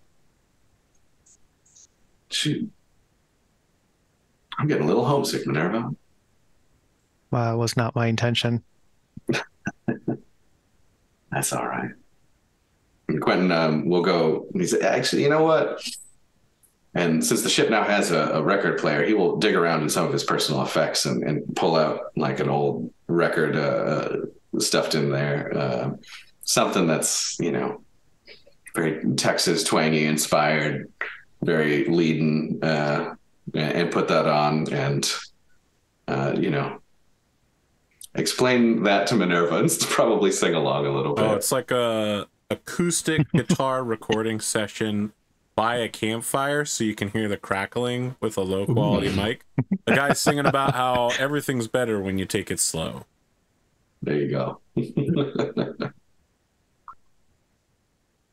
Uh You leave the station question mark? You drop off the goods. 24,000 is injected into your credits. You hear a you catch a brief communication between the team leader and the guy that's like driving the space forklift. That's just like who the fuck are these guys that they're being paid this much to transport? You know, like the o the the overhead on this is ridiculous. Like yeah. somebody here has got to be someone's kid. that obvious. Right around midnight, you can set course for Astapel if that's your decision. If not, I need to know what you're doing. Are we coming Yeah. back for the You got auction? 48 hours. Go ahead. So Are- I'm at the planet Astapel to drop off the pen. Oh, right. Yeah. Yeah, the pen. You remember Captain's decision. the decision. pen? The whole reason you're here? Yeah. Yeah. not- I, I feel like we have to we have to drop it off, you know. Uh, so essentially, yeah, let, we'll we'll get team meeting, team meeting. Let's get together and we'll make our. I mean, Is Iono yeah, part of the that. team now? I was, I was about to ask Ooh. that, Ca- Captain. That's I, I believe we've you've offered funding to Yono. She's part of the team now. Shouldn't she be part of this? all right. Minerva, shoot her a message.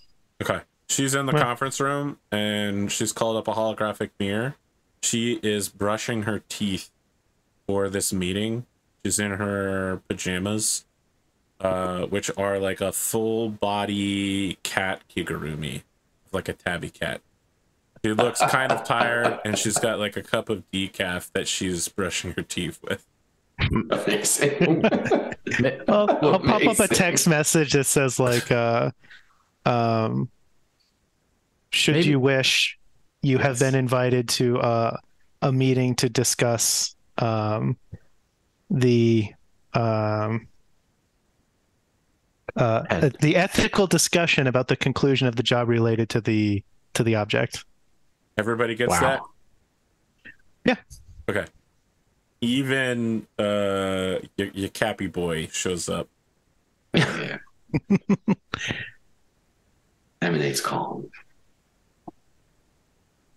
Well, folks, Iona's um, just in her seat, going in slow circles, trying to stay awake.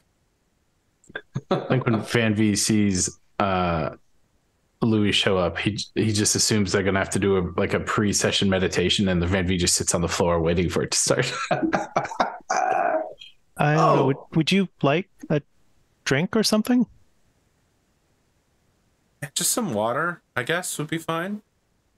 You know, I, I Of grabbed some decaf when I was passing by the kitchen. I, you know, I just didn't want to be super amped up, but you know, I didn't know we'd be meeting at midnight. I'll uh, So- I'll, I'll grab Yeah, you a what's drink of water real quick. Thank you so much. and um, Quentin will will tap Van-Vee on the head and say, "Hey, we'll we'll, we'll skip that right right now." We'll, we'll- oh, all right, sorry, sorry, Cat. No, it's, it's I appreciate the enthusiasm, and next time, absolutely, because you know I want you to get in touch with your inner self. I think that's an important part of Well, knowing honestly, who you are. I sat down because I thought it was required, but now that I know it's optional. Louis moves to sit down next to you, Van-Vee, and just kind of sagely nods and pushes an hmm. orange so that it rolls in front of you. Oh, thank you, Louis. I, I could use some some vitamin C right about now. He rests his chin on the table. God, Minerva comes back with a glass of water and gives it to Iona, Yeah, she spits and in then it, has a seat. Washes her mouth out with it. She was brushing her teeth. yes. Oh, spits in it. Ah, okay. Yeah, Minerva will have a seat. Goes back to drinking her coffee. So, folks, we know what this uh, pen roughly does and is. We know we are in the middle of it. We know we've got a job that we are contracted to do. So, it, here's the thing we need to get this thing as far from us as quickly as possible, at least in my book at this point. And regardless of what Jace's motives are, eh, the way the exchange works kind of puts us in a bind. I don't think we have a way out of this. And I think the only way that gets us in the least trouble is to deliver it. Mean, And that's where I'm at. ultimately, it's your decision.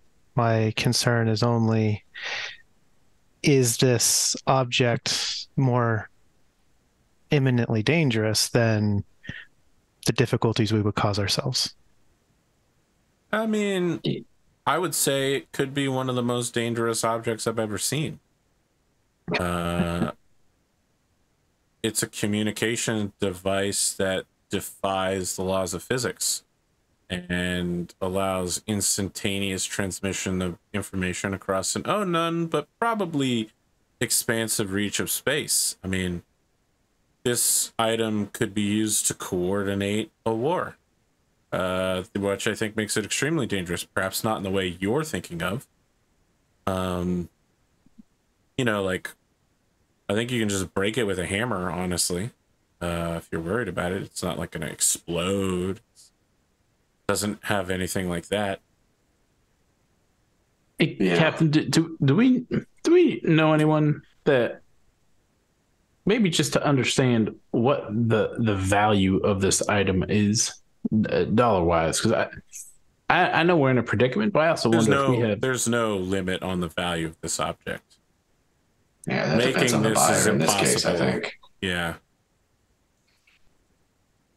And uh, You're aware Well, of we the know- technology level ratings, you know, one through four plus five, etc. This is technology level six. Oh shit! You know, This wanna pushed something the like edge of what the mandate could do back in the day. Mm, Listen, I, I gotta wonder, sir. Uh, not only do we, are we getting taken advantage of in that we didn't know what we signed up for, but we're getting hosed on the payout for this too. Know, I, I'm not. I'm not sure we should go in there and, and try to negotiate further because we're, you know, we're trying to avoid violence. But yeah, uh, it really feels like we have an opportunity, perhaps, to make a little bit knowing know, knowing what this device is. Yono, like her eyes widen when you talk about altering the deal. Man, V, eh, look, the thing that I know, look, the reason that we went forward with this job is basically because, you know, I accepted it without enough information. And then we looked up who this guy was and we figured this is a person who is worth doing a job for because they happen to to essentially be responsible for all of the armatures in the sector and programming wise, et cetera. Like this is someone with connections and technology, a potential buyer for future things that we at least that's what was our initial thought. This thing is, as Iono says, incredibly valuable, potentially incredibly dangerous in the right hands or the wrong hands. I I don't know what the right play is, but I do know that us hanging on to it does not make our lives simpler than getting rid of it. It it does, sir. I guess I, um, I'm feeling a little a little caught in a conundrum that if we don't trust this Jace fella, and it really could be something that could start a war, are we doing the right thing by completing the mission and giving it to him? I mean, we we keep talking about morality here, and it, I feel like it can go. We can argue this either way.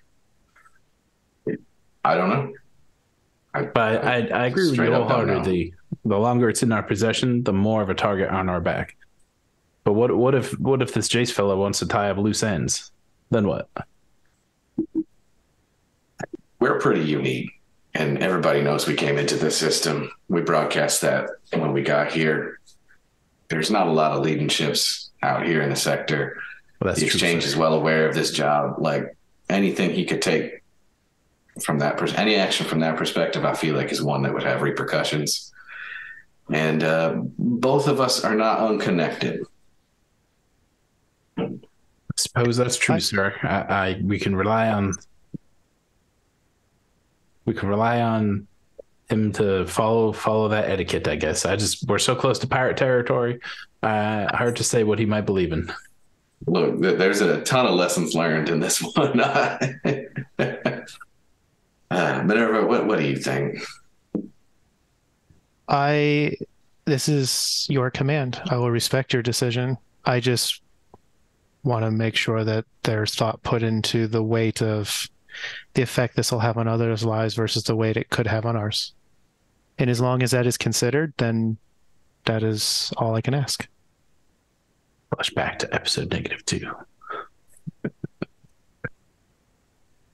It is definitely being considered and i you know i'd be lying if i said i knew 100% certainty what the right answer was. So you know i'm open to suggestions but i, I think we need to deliver this thing and get it done. Well all right then. So we we just we, we show up drop it off get paid and don't even stay for breakfast. Just get on out then don't I'd say keep the ship running the whole time. Look, yeah, I don't know what he's how how he's going to be, how how this is going to play out, whether he's going to try to keep us on a hook and do it. But I agree, we we drop this thing off and we do our best to skedaddle. And if and if he tries to offer us additional missions, just politely decline. Mm-hmm. We've got we've got a pressing need to get up on over to Admeads get this salvage job done. I think that's where we need to go.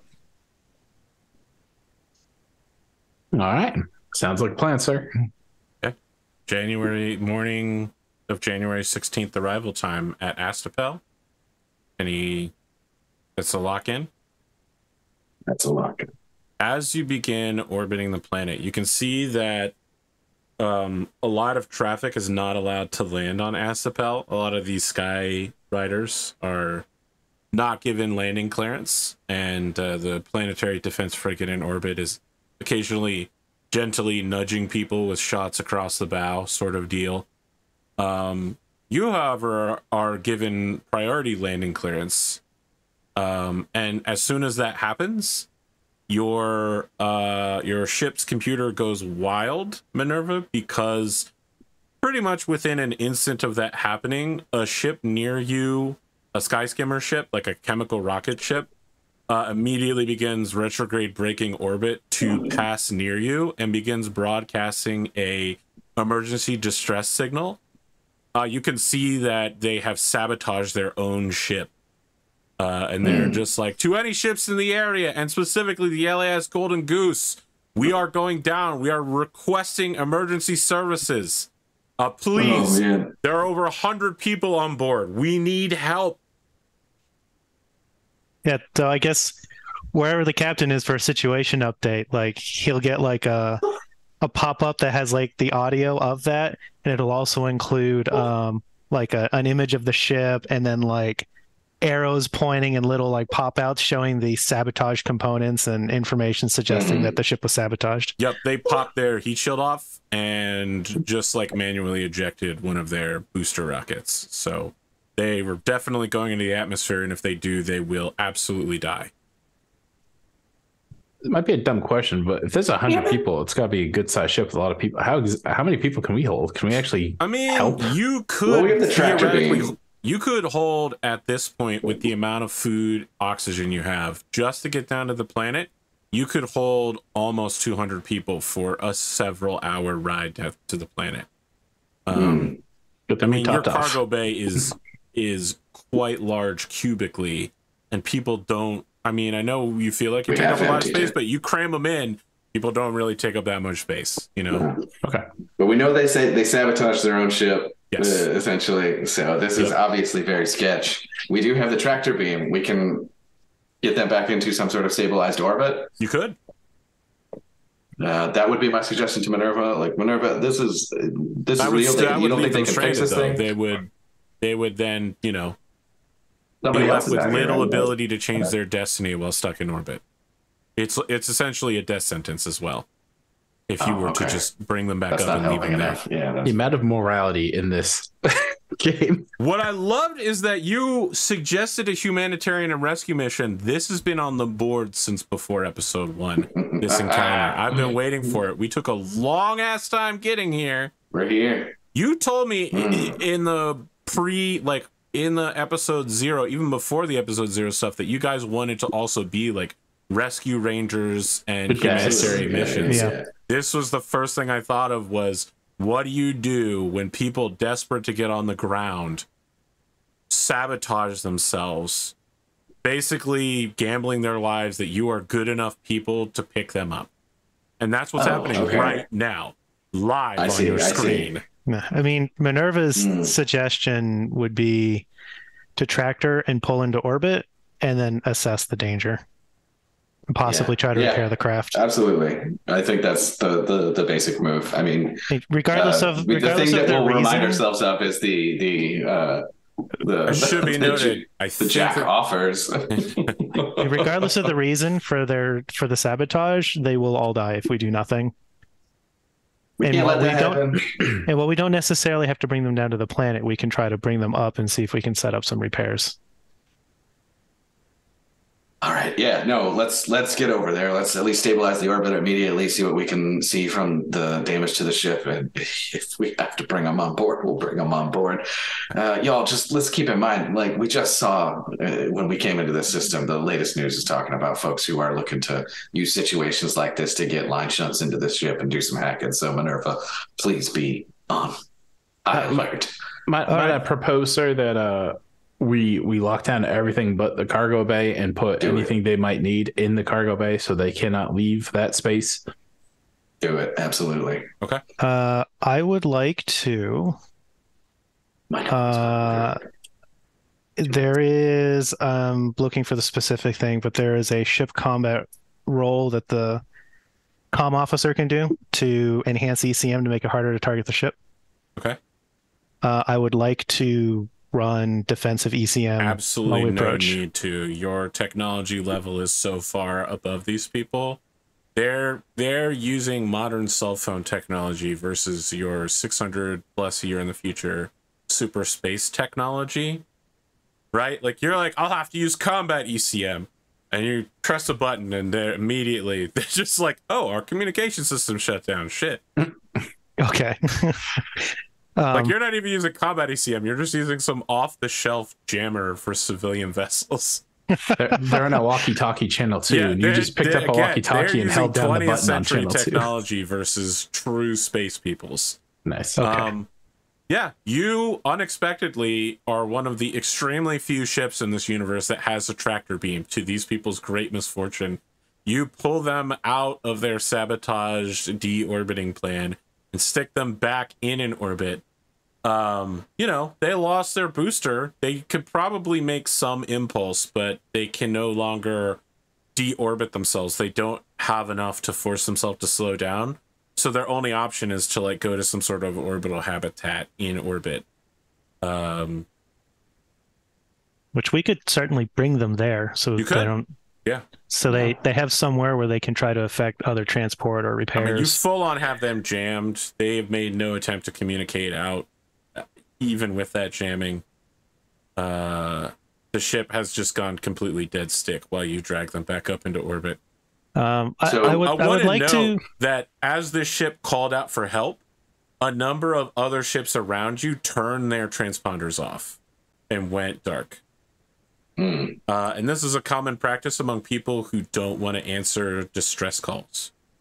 Gotcha. Uh, I would like to run the ECM just long enough to scan to make sure that the ship has no way to harm us, no weapon systems of any kind. I mean, it And then- doesn't have and then I'll weapon turn the systems, but it could harm you by slamming into you, right? Like, Sure, but Anything's it, once. I once I determine that the uh, the ship has no weapons, I'll turn the ECM off, and I won't be worried about targeting. And if they want to fly at us, that's a whole separate issue. I So, mean, you what- have them in the tractor beam. They couldn't fly at you if they wanted to. Yeah. Right. So like I once I determine there's no weapons, I drop the ECM, so the captain can contact them. And just a, to a quick refresher, we, we said when we came into the system that there, essentially there's some some limitations on what like uh, them actually being allowed to come down to the surface as far as this goes. So you've been given landing clearance. These guys have not, right? Uh, Um, technically, the landing clearance is by ship. So if you brought them on board, they could technically come down with you. And given that the exchange of events that happened in such incredibly short order, they probably marked you days ago and were waiting for something like this to happen. okay. And as far as that goes, like, is it straight up just uh, is it illegal for this refugee situation as far as the planetary If they government is concerned? Is the this like that they can claim, you know, refugee status Okay. and stuff like Okay, that. Okay, so all right, it's not necessarily like going to get us in trouble so much as it is like how much do we want to risk for them? I mean, the government put out a notice in the newspaper. You know what I mean? Like they did everything they could to stop this from happening. This is just the way the laws work on Astapel. You're not going to get in trouble Okay. for this, although it'll be a pain in somebody's ass. all right, beautiful. So yeah, we'll, Somebody we'll will be up, inconvenienced, but. I dropped the ECM so you can talk to them. Perfect. We'll we'll open up comms and say uh, this is the LAS Golden Goose. We have you in tractor beam. We what's going on? Uh, you get a call back over from uh, a husky sounding woman who says, This is Ania Wizem. Yeah, you guys got us. Um, look, I don't know. You know, Look, just be honest with me. Be what do you want to do with us? You know, our our fate is in your hands. Where you from? Why why you here? I mean, uh, people on the ship are from a lot of places. I'm from Indiana. I'm gonna be honest with you. I mean, I I have cancer. I have a really treatable form of cancer, but we we don't have what it takes to solve that where I'm from. And, you know, I'm just if I could even just get on your ship and use your autodoc for like 6 hours, I would be good. Um, but, you know, most of the people on this ship you know, they all we all have our reasons. People just want a better life. I mean, Astapel is the best planet. I mean, just you know, it's crazy how good life is there.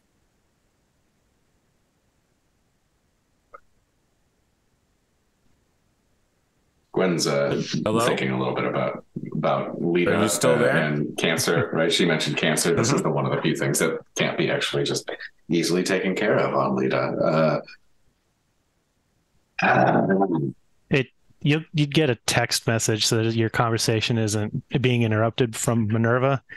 It mhm. says that um, by all accounts there will, should be no legal repercussions for us providing aid and charity to people seeking seeking help. No, Let's Cap, do I, it. I think we could we could use some good juju right about now. I agree. Let's do it. Let's do it. Um, shit. Lock down the cargo base. Lock down everything. We need to keep everybody out away from Yono's experiment. Get that entire region locked down. We can have folks in anywhere but there. Uh, I, I don't know how easy that is in terms of the layout of the ship or what we can do, but we'll. That's the goal. Lock that uh, entire area down and bring people in. This this ship does not have a standardized docking. I know that almost everything we've done so far has been pretty standardized. A clamp comes out and Mhm. locks on. Again, this is, you know, like international space station level of technology you're working with. Okay. But you're a salvage ship. You are again uniquely qualified to bring them on board through the cargo bay. Uh, Quinn so will be out there as well, uh, prepared just in case there's any issues. He has the ability to activate a pressure field that can at least deal with, uh, you know, any sudden vacuum events. okay, they they bring 150 people on board. Um, yeah, so obviously getting uh, Gwen will ask if Yono can can help as far as that. Get get Minerva ready, uh, get get Van-Vee, like get everybody lined up, hand out towels and water and whatever we can as far as that goes, real quick, and get folks situated in in ready for atmospheric entry. Okay, what are you gonna do with their leftover rocket? Mm. Is there anything valuable enough for us to slice up and salvage? Otherwise, then I guess Push we it back set this atmosphere. thing into I think if you wanted to spend a day out here, you could get about 500 credits worth of scrap, which you could use to repair your ship later. Yeah, we will. We will go ahead and put this thing into. Um, is there anywhere? You know, it, we'll we'll talk to Minerva Classically, a and see if deorbit burn. We'll just have That's what I was it going to say. burn up. Yeah. Calculate the right place to, You to just put let it it, down. You honestly, you just let it go while you're going down into the atmosphere. It will destroy itself Perfect. for sure. All right. Um, do you want to offer Wizem and anyone else who needs it a spot on your autodoc on the way down? uh, Minerva would emphatically request to be able to Yeah, do a screening and see what sort of help we can do. So to, Absolutely. to fix everybody's problems will take Oh, about three days. Oh boy. Okay. Yeah. Well, well, we can commit to that. I think. Okay. So it's Yeah. on it's only like six people. So like 144 people are going to disembark and get, you know, refugee status as soon as you're down there. Everybody else, the, the remaining six, are just going to go into the autodoc and then rotate out as their treatments are are needed. Yeah, Minerva says that uh, like ship access and monitoring of the guests during the medical treatment will be uh, the ship. Minerva will put, you know, she's watching, can close the doors. There's reasonably safe. Basically, trying to minimize risk as much as we can. Yeah, Okay. for sure. You hit the ground. A bunch of extremely agitated looking spaceport bureaucrats begin getting everybody. It's a really impersonal spraying them down with. It's like going through the decontamination, but with like a fire uh, extinguisher. And they're not in suits or anything. They're just spraying people like openly, ruining their clothes. You could tell these people just don't give a shit about other humans at this point. Um, but yeah, the you know, like a control officer comes out and it's just like, "Well, Captain, thank you for coming on down here and rescuing all these folks. Your Anytime. spaceport fee is paid for your one week pass here on behalf of the Supreme Master. Fantastic. We have a luxury transport to get you there privately if you'd like to leave now." Yeah, uh, absolutely. Uh, Van-Vee, um, Minerva, you, you're gonna stay with the ship, right? I I believe it would make sense for me to stay with the ship and oversee the medical Yeah, I think that's a smart play. All right. Uh, V, Okay, you ready are to go? Gonna? I'm I'm guessing, given the number of people coming off your ship, are you gonna resupply? Yeah. He Yeah, hands we you an need invoice for three thousand credits. no, perfect. So, so he said we were paid to stay there for a week. Oh, you're not paid to stay here for a week. Your doc, your berth is paid for a week for as long as you want to stay for one Yeah, week. okay. I gotcha. And again, Okay. that's just the spaceport landing fees essentially. Yeah. Okay.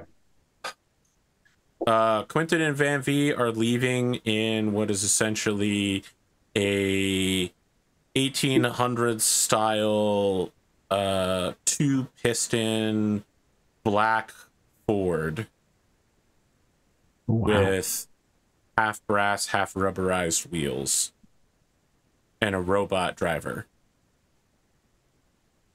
And I think just at just it, it, you're so weirded out by an internal combustion engine just you're moving 30 miles an hour and the driver's like, "Hold on. We're really going to kick it up a notch now here, guys." Puts it in third gear as a real daring choice as you pass a number of wooden and stone buildings, none of which are higher than three stories tall. Welcome to goodness. Astapel.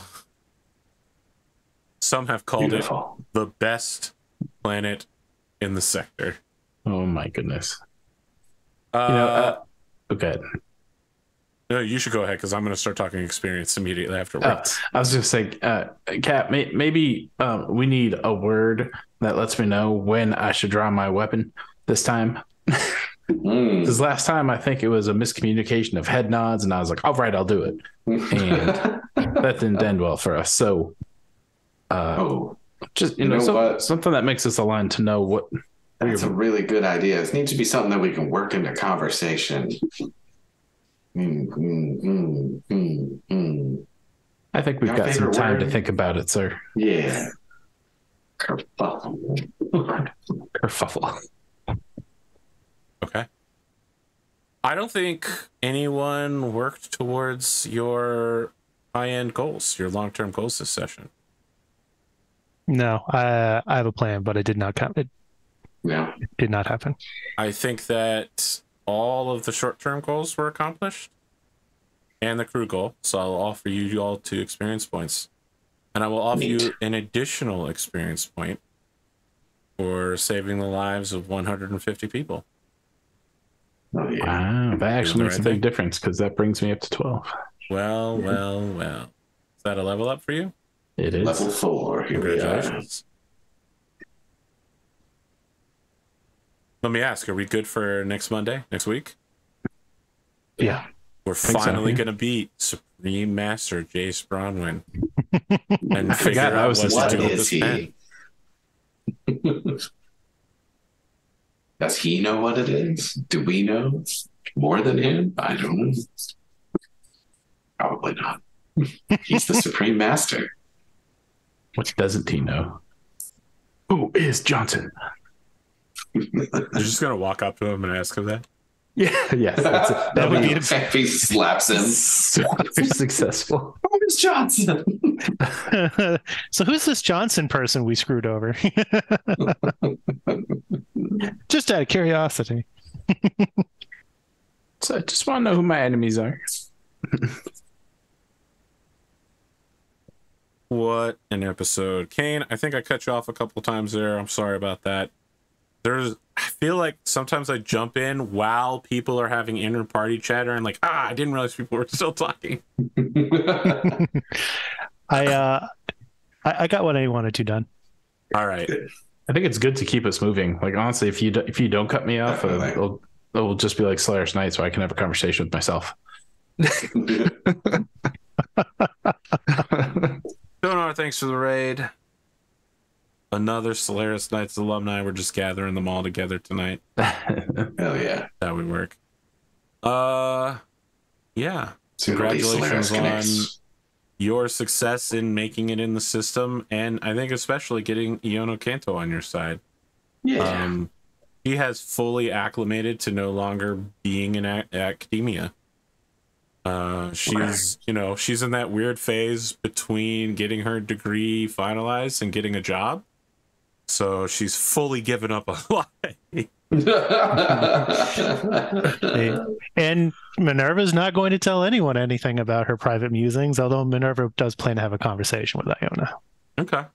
We'll see Awesome. how that goes. I look forward I love how, per usual, when we have a problem, our solution was to throw money at it, and it made her happy. Yeah, right.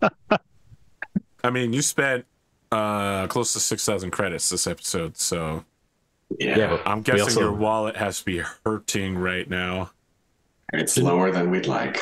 Didn't we also just get paid like You got 20 paid something? We did get paid twenty four k exactly. So we we we at at this point in the group funds, we actually have fifty six thousand. So it's not a little, but we do have an auction we have to win. Uh, so that's Yeah. true. And We have to at the outbid end of the with month that. essentially uh, issue a payment of you know something like closer to twenty k in terms of reserving some for maintenance in the future. As as a player, I was wondering if we needed Slicer, depending how this chase situation went. I mean, You know, Slicer was- could take care of Jace real easy. Yeah. Yeah. Oh, look at that. We got paid and our, our buyer's not alive anymore. We'll just go ahead and keep the pen. the spy device that's currently Uh, listening to everything we do. Really curious who's, Who knows? Because, I mean, you pinpointed where it's going, but we don't know anything about that. At least, I don't think we know anything about that planet where it's communicating to. So we have no idea who could be listening, I guess is my point. Yeah. But we do know that it's in that sector, right? Like that That's is the one thing that I did get from it. Shally 0009. Yep. Yeah. This ship is theoretically capable of making that transit if it makes one. I think you need to make two blind spike jumps. So Yeah. Okay. again, you need an, Yeah, you a need a terrifying. navigator who's better than your current navigator to do that. Yeah. You need I'm to be a sorry to specialist say, in it. you ju- yeah, yeah, you need a you need a specialist in navigation to make that happen for sure. Uh, just the ability to roll 3d6 is huge. You absolutely do not want to come up with double ones on a roll like Oh, that. man. What if Van-Vee's mother works for the perimeter agency? What if Van-Vee's mother is Johnson? oh my. That's the future. Bodies aren't what they used to be. I mean, that's gonna that's a whole theme we haven't even explored yet. I think probably not though. I think probably not. I, I'm still going with uh, when you said she's the Ilcon.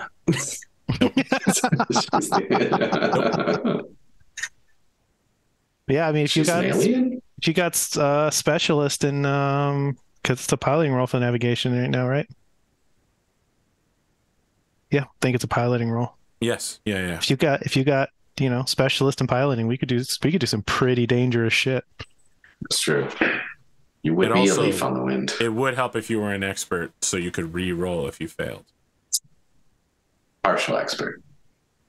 I, I Uh, mean, th- you're, you're basically saying to change my entire character Yeah, sheet. I- that's uh, what level. I'm saying. I'm saying Oh, okay. that your character is probably not going to be the god level navigator necessary to Oh, make because of the reroll. Yeah. because of the reroll. Yeah, I mean, three d six drop lowest with a reroll makes hitting eleven plus a lot easier. Wait, how? I'm sorry. How do you get to the third dice? Where does that come from? Specialist gives you three d Yeah. six Specialist, yeah. and The then f- four d six. If you take the, the second tier, yeah. Yeah, Like I have, I took specialist in programs, so I roll three d six drop lowest, and if Wait, I I plan to take it a second time. Specialist being the second level Foci. it's a first and second Mm. level Foci. It, it has two tiers. There's a first and second level to it. Oh, and it's okay, and it's separate than Starfarer. That's Yes. part. Okay, I was like, I'm I have second level Starfarer, which is all about piloting. Okay, I Nope, gotcha. It's its Yeah, own thing. And I if you agree. take both ranks You, in it, you you, basically get need 46 both drop and lowest. expert if you want to discover new systems.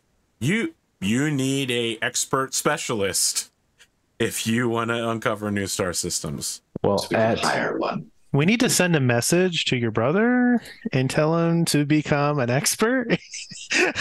I Well, think he already is an expert, well, there you go. Tell him to right? work Did- on you navigation. did a you did a crew status on him. I believe he is an Oh. expert. That's true. I mean, You told him to said- become a paramedic, which is quite different from Yes, a it is. Yeah. astrologer pilot. Uh, That's true. let me get my notes. I'm pretty sure I wrote his character sheet down somewhere. well, I mean, not uh, depend depending on our timeline here. I just hit level four, not level five. I can take another Foci. Yeah. and then I could take I could take specialist piloting. It wasn't Sure, my that's plan, but I think how the more combat stuff I take, it the, the more I get into trouble. Perhaps We I should just go keep away. from bullying you about it. Listen, you don't have to do Yeah, all that. You guys have money. You can hire people. Exactly. And you don't even have to hire people. You can have a custom designed virtual intelligence that is an expert class virtual intelligence that's a specialist Oh, in piloting that has both specialist and starfare. It will cost a metric fuck ton of money, but it will also never betray you. hmm. Yeah, I mean the only other Foci I wanted to take And, was and, and as we've learned, if anybody's uh, if anybody tries to mess with the programming on that that navigation VI, Minerva is depressingly aware of the inner workings of VI programming. Oh, would, Minerva, be, legit. would be able to tell if somebody else has been in it. What would was you so say is your your what are you very experienced with? Turning a VI into a friend and repeating. Yeah. Modifying oh, man. VI programming. I mean, the only other focus I, I, or Foci I wanted to take was Tinker, and I'm trying to think. That's have a fun I one. had well, have I had to make a single fixed roll yet? I don't think so. So it's Well, we Yeah. also haven't. I mean, the You mods and haven't stuff. you to can modify, modify, situation. like, Listen, you can modify the ship, you can modify your weapons. Yeah, it's It kind of just neat. hasn't come up. yeah. Yeah. And we we do have need got a, a week here. workshop, right, to do it. We've I got mean, up when to a you're week docked, here. you are in a workshop. Yeah. Right. Okay, okay. Like I said, We've got up to a week here where you can choose to do some work on the ship. Tinker, tinker. Oh, just to be clear, you need a shipyard to work on the ship, but Right. when you're docked, you you have access to like the spaceport workshops. It'll Yeah, cost could work on the money. guns and stuff. All right, you rolled four d six, Quentin. Your top two are a four and a four, so that's an eight. That would not Oh, have been uh, good enough to take you to another system. You probably would that's be true. That's true. and That will be my health. Oh, your new on health is level up. 14 hit points. Oh shoot! Yeah, I love it. Yeah. Yeah, yeah, yeah. yeah. Plus Shit. how much Constitution? Zero. Oh, you're super murderable, my guy. Totally. Still very vulnerable. Unbelievable that you're fourth But- level and you have 14 hit points. What, Yeah. what page is that uh, leveling thing on? I forgot about that. Oh, advancement. Yeah. Yeah. Hold on. let's see. I can activate and give myself an armor class of 17 at this point. So that's at least my only saving grace. Character advancement is 56. Oh, I was almost there. All right, there we go. Hopefully, this is one of the easy ones. So is four? oh, Yeah, four is not one where you get a new foci. Anybody getting any new skills that would surprise me, or anyone withholding skill points for some reason? All right, Ludemann, I'm going to require a full write up of all of the new psychic stuff you get because you have got to it. spend in psychic disciplines, and you I do. you can pick up a new talent, or maybe you have to pick up a new talent. Uh, I'm well, not sure. yeah. If, it's if specific I for psychics. increase, They have very specific rules. When I increase a skill, I get a new talent by default as part of it. Okay. Yeah. So I'm going to increase to give us a telekinesis. I preview as to believe. which talent or uh, which brands of psychicness you may or may not be increasing? I believe I'm going to increase telekinesis to level two uh, with this Ooh. one. Am I doing that right? I guess so. Let's see. Well, you know, I'm You already have debating telekinetic power. armory, right? I do. I do. And then Yeah. and Level two, I can pick a few interesting things. The debate right now is is mostly between uh, thermokinesis, which is fun because I can melt and uh, freeze things, and telekinetic expertise, which basically makes the basic version of this free. yeah, you can just Well, you can be walking forward and wave a hand and get your coffee into your hand and just sit exactly. down. Yeah. Impact sump is pretty interesting, right? Like it's a single Impact sump is negation. Yeah. of physical damage only, though. So like Van-Vee could vaporize me very easily still with his laser pistol that he's you know one shot one kill on. But if he were to shoot me with a slug, then I could say no, just once. so you know these are good options. You would. Split field I mean, is interesting, but like If, if it only blocks uh, physical damage, it does mean that Minerva's pistol wouldn't be very good against you. there you go. I have a Um, mag pistol. in the announcements part of my Discord, I have a Stars Without Number game that I played with Eric Bogaris where I was the captain. And we were playing first edition, which had very similar psychic rules. But I had the psychic mutation that I didn't need to sleep. And so at some point, I got the ability to permanently tele- telepathically bond with people without paying any e- the like effort. So it was called like PP back then, Right. and uh, also have enough dexterity to control all the ship controls. So I literally just sat in the chair all day long and would talk to people and bring myself whatever I needed. And my character was a fucking weirdo. He was so weird. While everyone else was sleeping, he he made like hollow chronicles and like wrote short stories and stuff. It he was just so messed up. Not sleeping destroyed him. Okay. That's a lot of fun. Van-Vee, you are at 29 fucking hit points. There's and a that tank. roll is it's okay. It's all right. It's not it's better than average, I think. So I, th- I think the part that makes it crazy is the the partial warrior gets you plus two per level, Mhm. and your constitution bonus is per level. Yeah. I mean, Yeah. of the twenty nine, that's that's twelve of it right there. you can probably Yeah. survive being hit by a rocket now. All right, add it to the to do list. I, I suppose since you have a proclivity for accidentally causing violence, um, You're very sh- survivable in combat now. You could be shot three or four times and walk it off. Yeah. I, I should mention because I am supposed to make this declaration about my armature Mhm. that my armature is set to uh, to detonate and destroy the core that's in it. Okay. Should so it be reduced to zero hit points? You'll snap back to the core on the ship then. So I go back to the ship and the body's destroyed. Be real bad if the ship and the armature are destroyed at the same time, but that's It- life. It would be. Be real bad if you know just Van-Vee or Quentin died normally without a backup. and I I don't know. It doesn't say anything about it, but it says that the armature explodes. So I don't know if that's you know dangerous to anybody standing next to it or not. talk about it when it happens. Okay.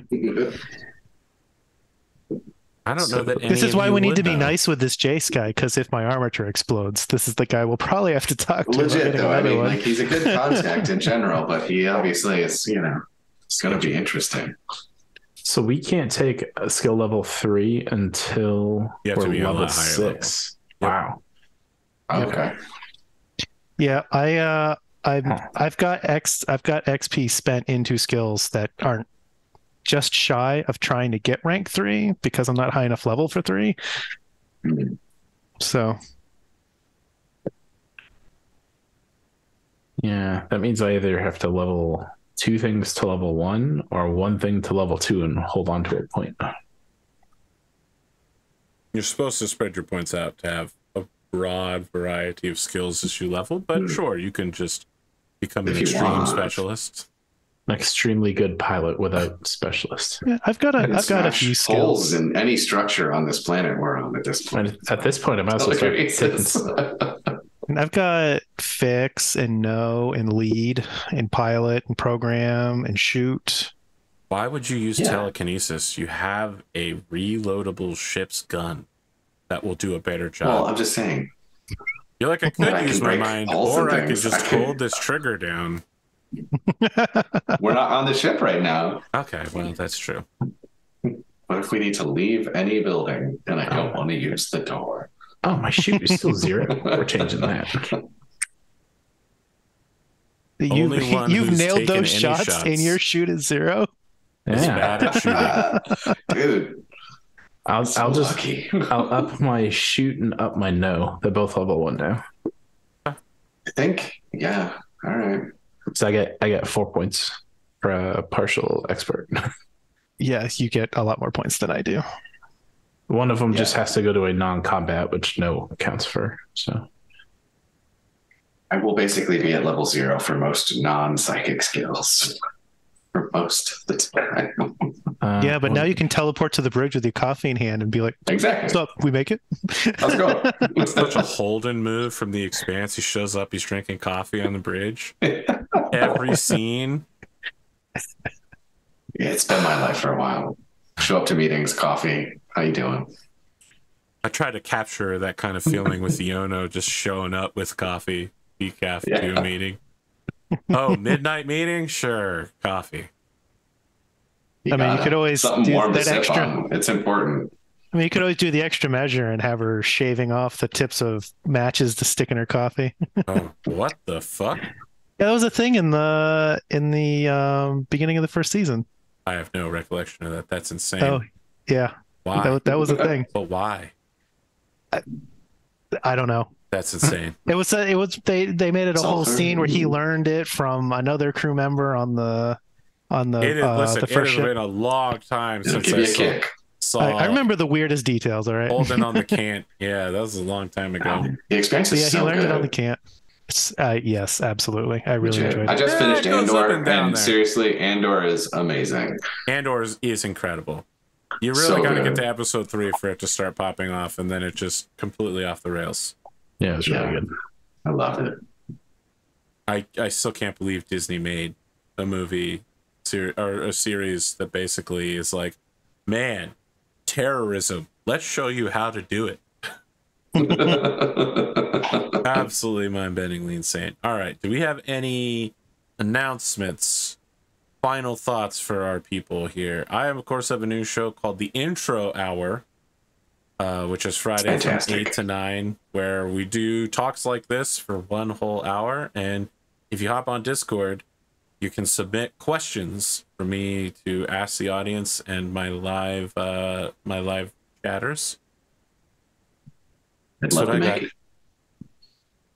Anybody else got something to talk about? Had a great time. Not. Nope. I'm glad you guys had a good time because I'm really here Yes. to help you guys have a good time.